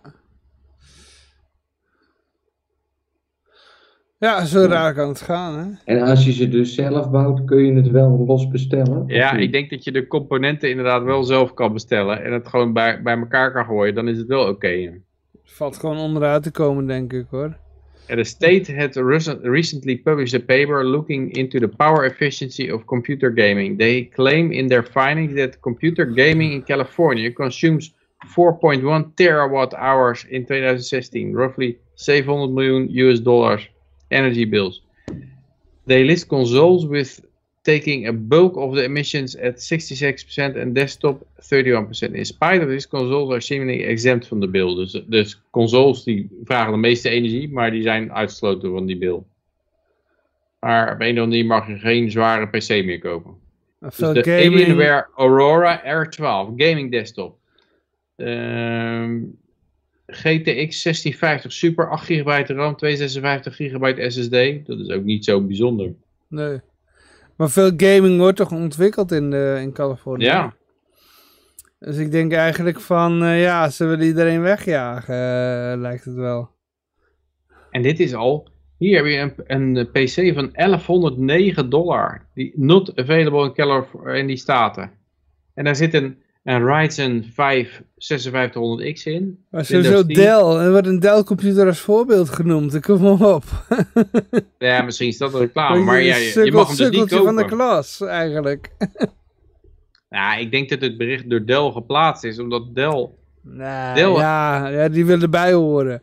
Hey, Ja, kijk, maar niet alleen ons, wij, zijn high-end. Kom op, iedereen weet dat Dell geen high-end Ja, maar ze willen die, die wet van tafel hebben, denk ik. Dus dan, dan, eh, dan krijg je dat, dat ze zeggen, jee, we kunnen niet eens onze beste pc's verkopen in, in Californië. En dan, dan, dat is natuurlijk een beetje beschamend. Ja. Nou, wedden dat die telefoon rood gloeiend staat van die eh wet, wettenmakers in Californië. mm, ja, Waar zijn jullie nou mee bezig?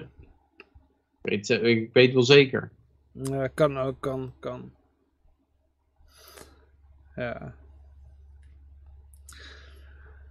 Als, als, als, zo doorgaat met Californië, wordt het wel echt de ondergang van Californië, denk ik hoor. Dit, eh, Ja, het is sowieso al bezig om, om onder, de- eh, onder te weg te zakken. Maar dit is inderdaad een nieuwe nagel in de doodskist. Dat ze eigenlijk niet eens een stevige PC kunnen verkopen in Californië. Dat mag niet eens.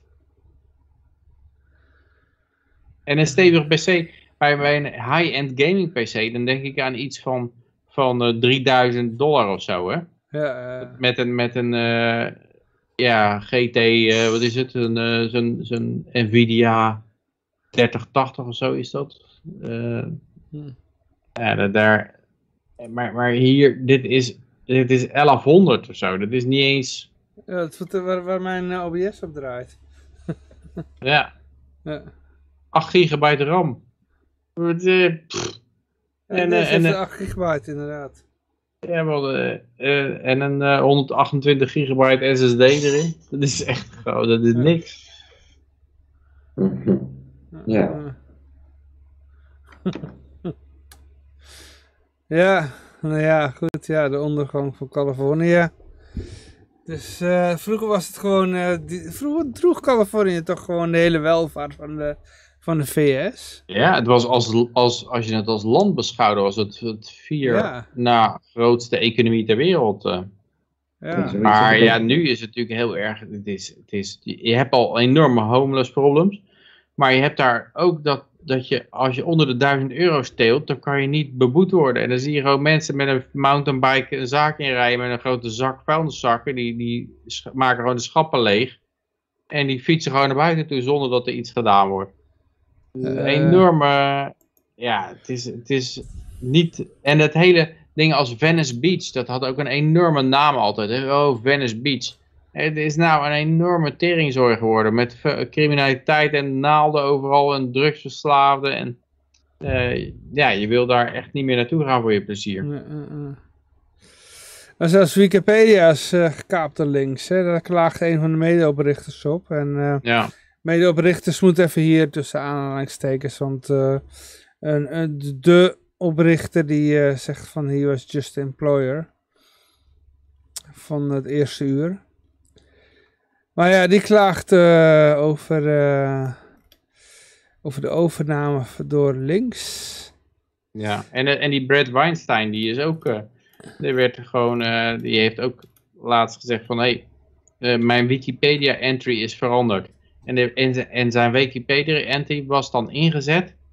Brad Weinstein, die eh, vaak genoemd is in verband met misinformation en fake news of zo. Eh, en, dat, en dat was dan omdat volgens de Washington Post, die had dan, de Washington Post had gezegd dat hij, eh, dat hij fake news was. Of dat, dat hij misinformation verspreidde. En dat was genoeg voor Wikipedia. Nou, nee, oké dan. dan kunnen we dat er gewoon inzetten.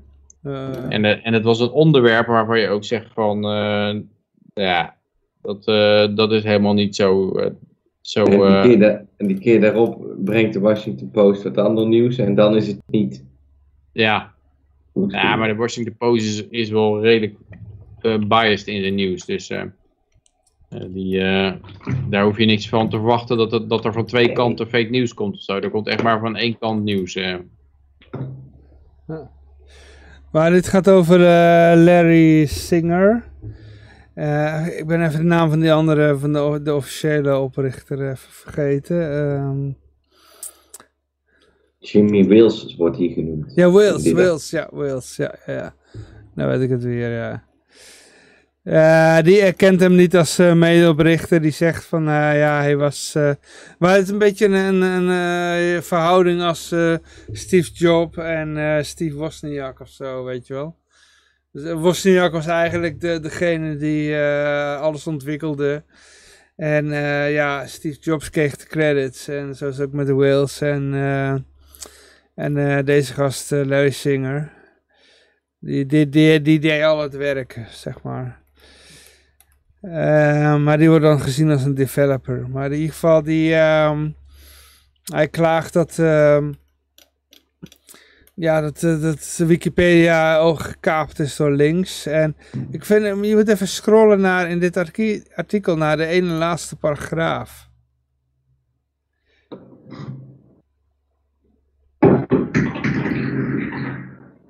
Zitten we nog bij, eh, sorry, ik zat even te lezen. Zitten we nog bij Wikipedia?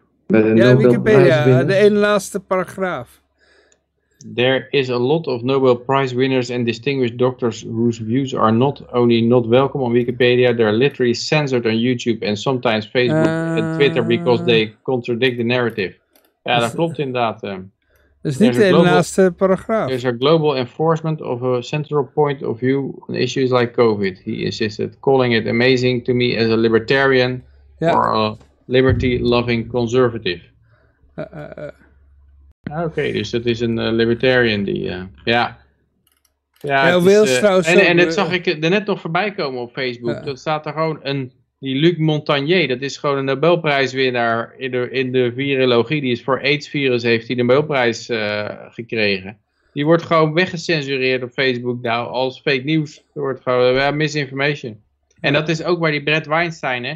Brett Weinstein, ik heb gekeken op Wikipedia, er staat dan... During the COVID-19 pandemic, Weinstein made several public appearances advocating the use of the drug ivermectin to prevent the treat of the disease, downplaying effectiveness of COVID-19 vaccines. David Gorski in Science-Based Medicine described Weinstein as a prominent COVID-19 contrarian and spreader of disinformation. Ja, eh, dat is geweldig. David Gorski, nou ja, die zal het wel weten allemaal. Weinstein made, bas eh, made baseless claims that the drug can prevent or treat COVID-19. Er zijn echt talloze onderzoeken die bewijzen dat dat, dat, dat ivermectin ontzettend goed helpt. eh. Ja, en er zijn er ook een heleboel die door anderen worden betaald, die bewijzen dat het gevaarlijk kan zijn. Of, en dan geven ze veel te hoge doses. ja, inderdaad. Dan geven ze hele hoge doses en dan kunnen ze bewijzen dat het gevaarlijk is. Ja. Eh, Ja. Wales, die, die oprichter dan, ja, ik, ik, daar weet ik niet, kan ik niet zoveel over zeggen, maar Ik had wel eh, een keer een artikel gelezen over, eh, ja, dat, maar het was ook een mening hoor, over fake libertarians. En er werd dan die, die oprichter van de Telegram in genoemd. Maar er kwam ook Jimmy Wales in voor. En die, eh, die, die dan een ja, anders libertariër zijn dan dat wij zijn. Maar zichzelf wel libertariër noemen. En die van Telegram bijvoorbeeld, daar weet ik wel van, die, eh, die geeft geen ruk om eigendom. Hmm. Die, die, die, en, en die zit trouwens in de... Net als, Behalve zijn eigen eigendom natuurlijk. nou, nee, nee, hij zegt van, hij is van ontspulling en van eh, niet vastzitten aan, eh, aan de materiële dingen en... en die zit bij zit- de, eh, hoe de World Economic Forum. En Wales trouwens ook. Oh Ze jee. zitten zitten allebei niet. bij World Economic, Economic Hm. Forum. Ja. En die hebben een hele, hele andere kijk op. eh, die noemen zichzelf libertariër, net als de oprichter van Telegram.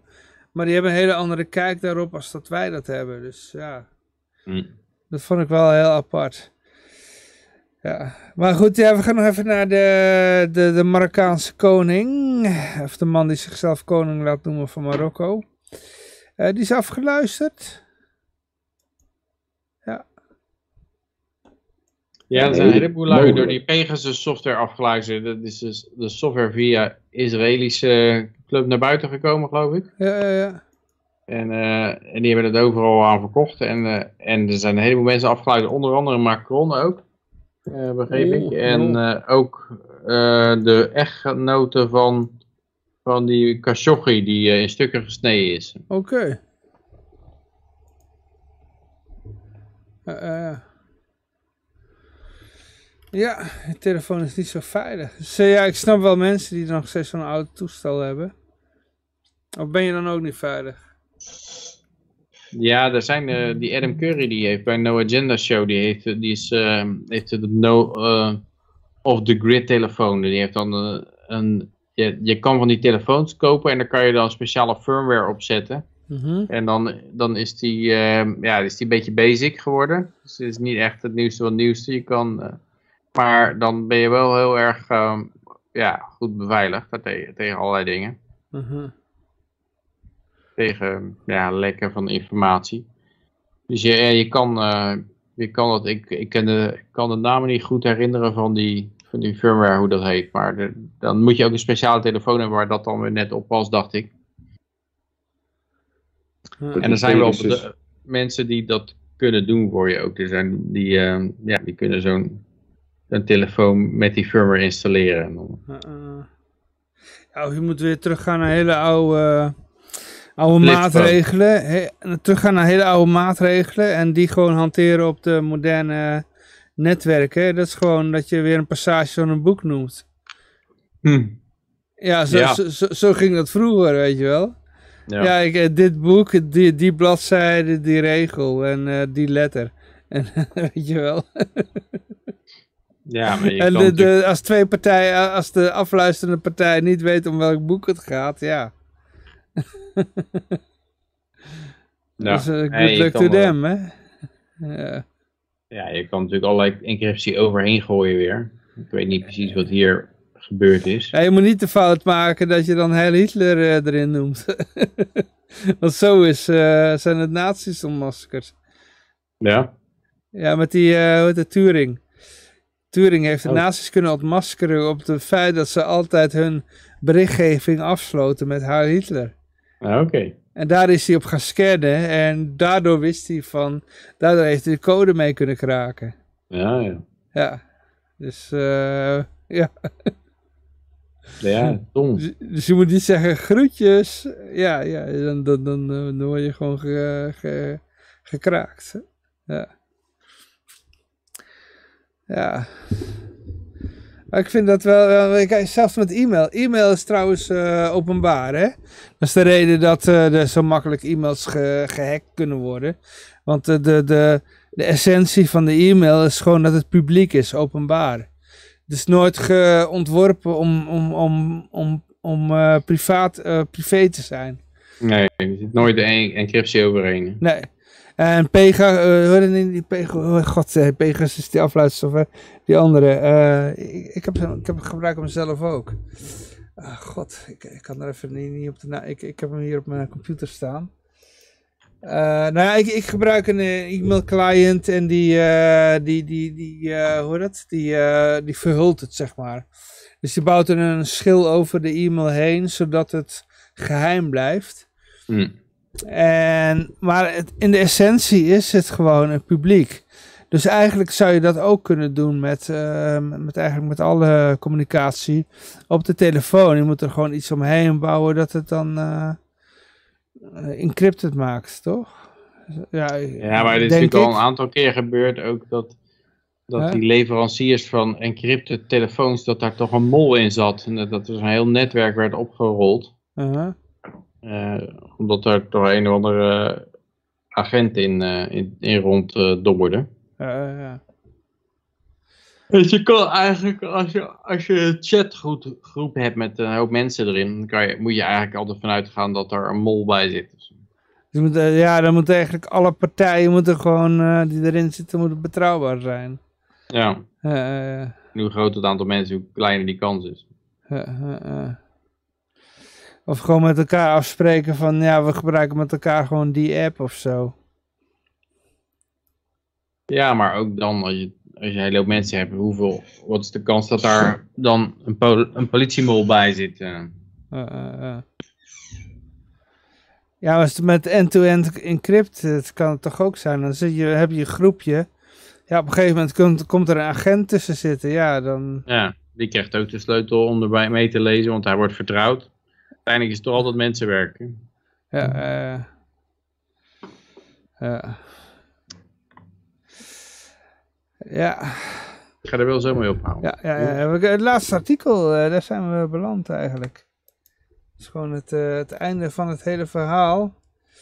Timing. zoek vooral niet naar eh the truth about BLM en dan ben je veilig op internet.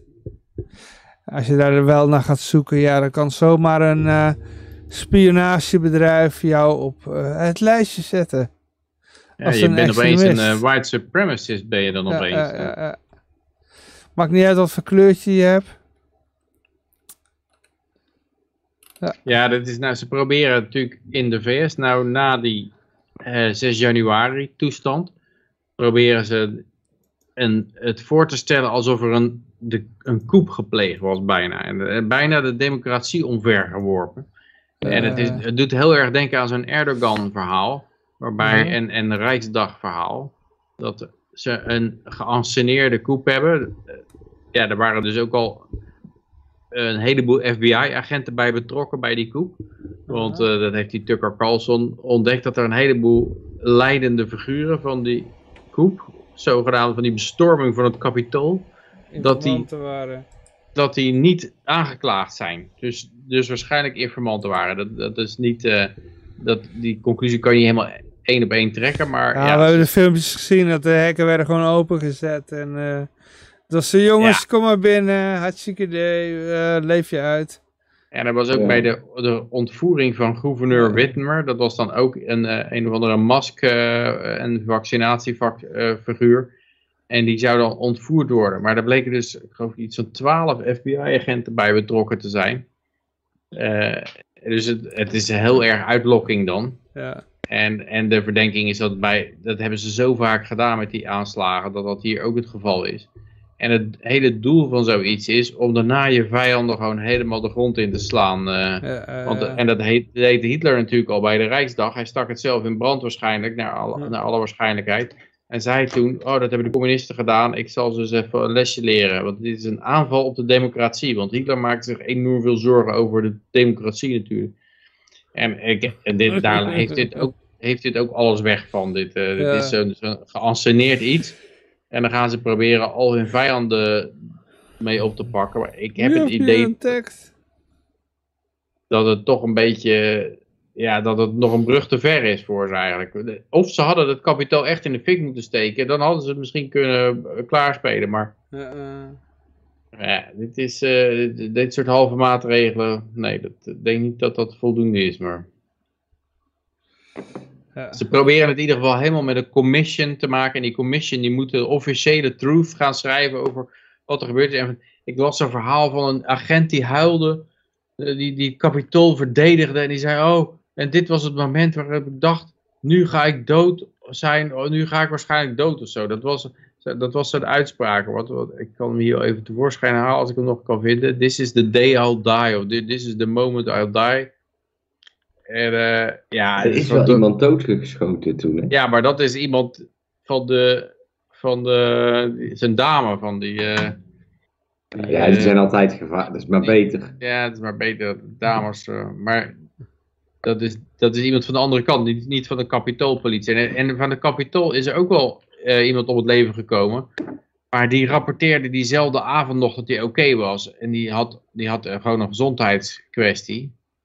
Maar dat had niks met, eh, hij, was, er was, hij was niet vermoord of zo. Er er was eigenlijk ook, er was niemand met een wapen. Dus er ging een hele hoop gedoe ervan maken dat er iemand was met zipties. Met, met die zipties waar je dan iemand zijn handen mee kan, zou vast kunnen binden, zeg maar. Eh, Dus, oh, er is iemand met zipties. Alsof het een soort eh, eh, bazooka was of zo. Werd er, werd, zo werd het opgeblazen, de zipties. En aan de andere kant zegt Biden natuurlijk gewoon dat je nukes nodig hebt om de Amerikaanse overheid aan te vallen. Dat een, gewoon handgun niet werkt. Maar in ieder geval, er was een enorm drama van zo'n zo'n agent die eh, tot tranen toe geroerd zijn verhaal deed. En eh, ik, kan het, ik kan die uitspraak nou weer even natuurlijk niet vinden. Ja, ik, ik, heb, ik heb wel eens iemand gesproken die eh, helemaal in dat narrative zit van de ja, CNN. Maar dit was Ja. gewoon in Nederland, van de NOS dan. Mhm. Maar die, die was ook echt van, eh, ah, verschrikkelijk wat er allemaal gebeurd is. En, eh, Ja, ik ken ja. het ook, die eh, mensen, ja. Die, die zeggen van, ja, nou, Peter, dit is echt geen grapje meer nou, hoor. Dit is echt, nee, dit is echt, wat er hier gebeurt is echt vreselijk. Dit is gewoon een En ik, dit zei, en ik niet- zei als antwoord van nou, eh, als ze het echt hadden gemeend hadden, is dat gewoon dat kutgebouw gewoon in de fik gestoken. Dan was de hele wereld verlost van deze, want het is de oorzaak van alle oorlogen in de wereld. Ik bedoel, het beste wat ze hadden kunnen doen is dat hele kutgebouw in de fik steken. En die gast, die was, die zag je gewoon hyperventileren. ja, ja, oh man. Er zijn, een miljoen mensen vermoord, in, in, in- onschuldige mensen vermoord in, in, eh, in het Midden-Oosten, dankzij die lui. Ja. Ja, het minste wat ze kunnen doen is dat kutgebouw in de fik steken. En dat hebben ze niet gedaan. Ja. ja. dat is gewoon mislukt dit. dat is jammer. Ja, jij vraagt echt, eh, dat- dat staat e- echt heel ver bij dat soort mensen vandaan. eh. Ja, die, die zag je echt hyperventileren. Trouwens, Flabbergast heeft nog gereageerd. En die zegt, eh, eh, en dan een tijd later blijkt de politie die beveiligde telefoons op de markt te hebben gebracht. Ja, klopt. Ja, ja, ja, ja. Ja, ja, Ja. waar we het vorige keer over hadden. Dat, is, eh, dat het gewoon van de politie zelf was. Ja, klopt, klopt, klopt. En dit was het eh, Capitol Police Officer who gave emotional January 6 testimonies anti-Trump defended Kenesha riots. Dus dat is al een, eh, is al een figuur. Maar eh, ja, hij zei ergens iets van, eh, van oh, ik, ik dacht dat dit het moment was, nu ga ik dood. Terwijl niemand van die, van die gasten die daar binnen liepen een vuurwapen had. Die had een sjamaan met een, met een boelhoorn op zijn hoofd. Het is geweldig. Iemand zegt hallo. eh. Hoe moet ik dat uitspreken? Oh, een naam die niet uitgesproken kan worden. Oh, ik ben jou nog steeds aan het streamen. Ja, ja, ja. Of ik ben jou aan het reden. Eh, eh, iemand zegt hallo. Oh. Hallo, hallo. We gaan er een eindje aan brouwen trouwens. Maar, eh, nog- Ja, dat is een goed idee. ja, Ik ja, ga, ik, eh, middernacht. Het is een mooi moment om de eind aan te brouwen. ja, ja, ik ben ook door mijn drank heen. Eh, ja, goed, sorry eh, voor, de, voor de hallo-zegger met eh een Mohammed of zoiets. Eh, ja, we gaan er een eindje aan brouwen. Dat komt niet door jou hoor, maar dat komt gewoon omdat we, we moeten morgen ook weer werken. Eh, goed, ja, ik wil iedereen eh, hartelijk danken voor, deze, voor het luisteren naar deze uitzending. Uiteraard de deelnemers, dank voor het deelnemen. Uiteraard zijn we er morgen, eh, volgende week weer. Ik wens iedereen een vrolijke en vooral heel erg vrije week toe. En ik zou zeggen, toedeledokie. En even kijken hoor, moet ik de F12 knop opzoeken. Hartstikke idee, hoppakee.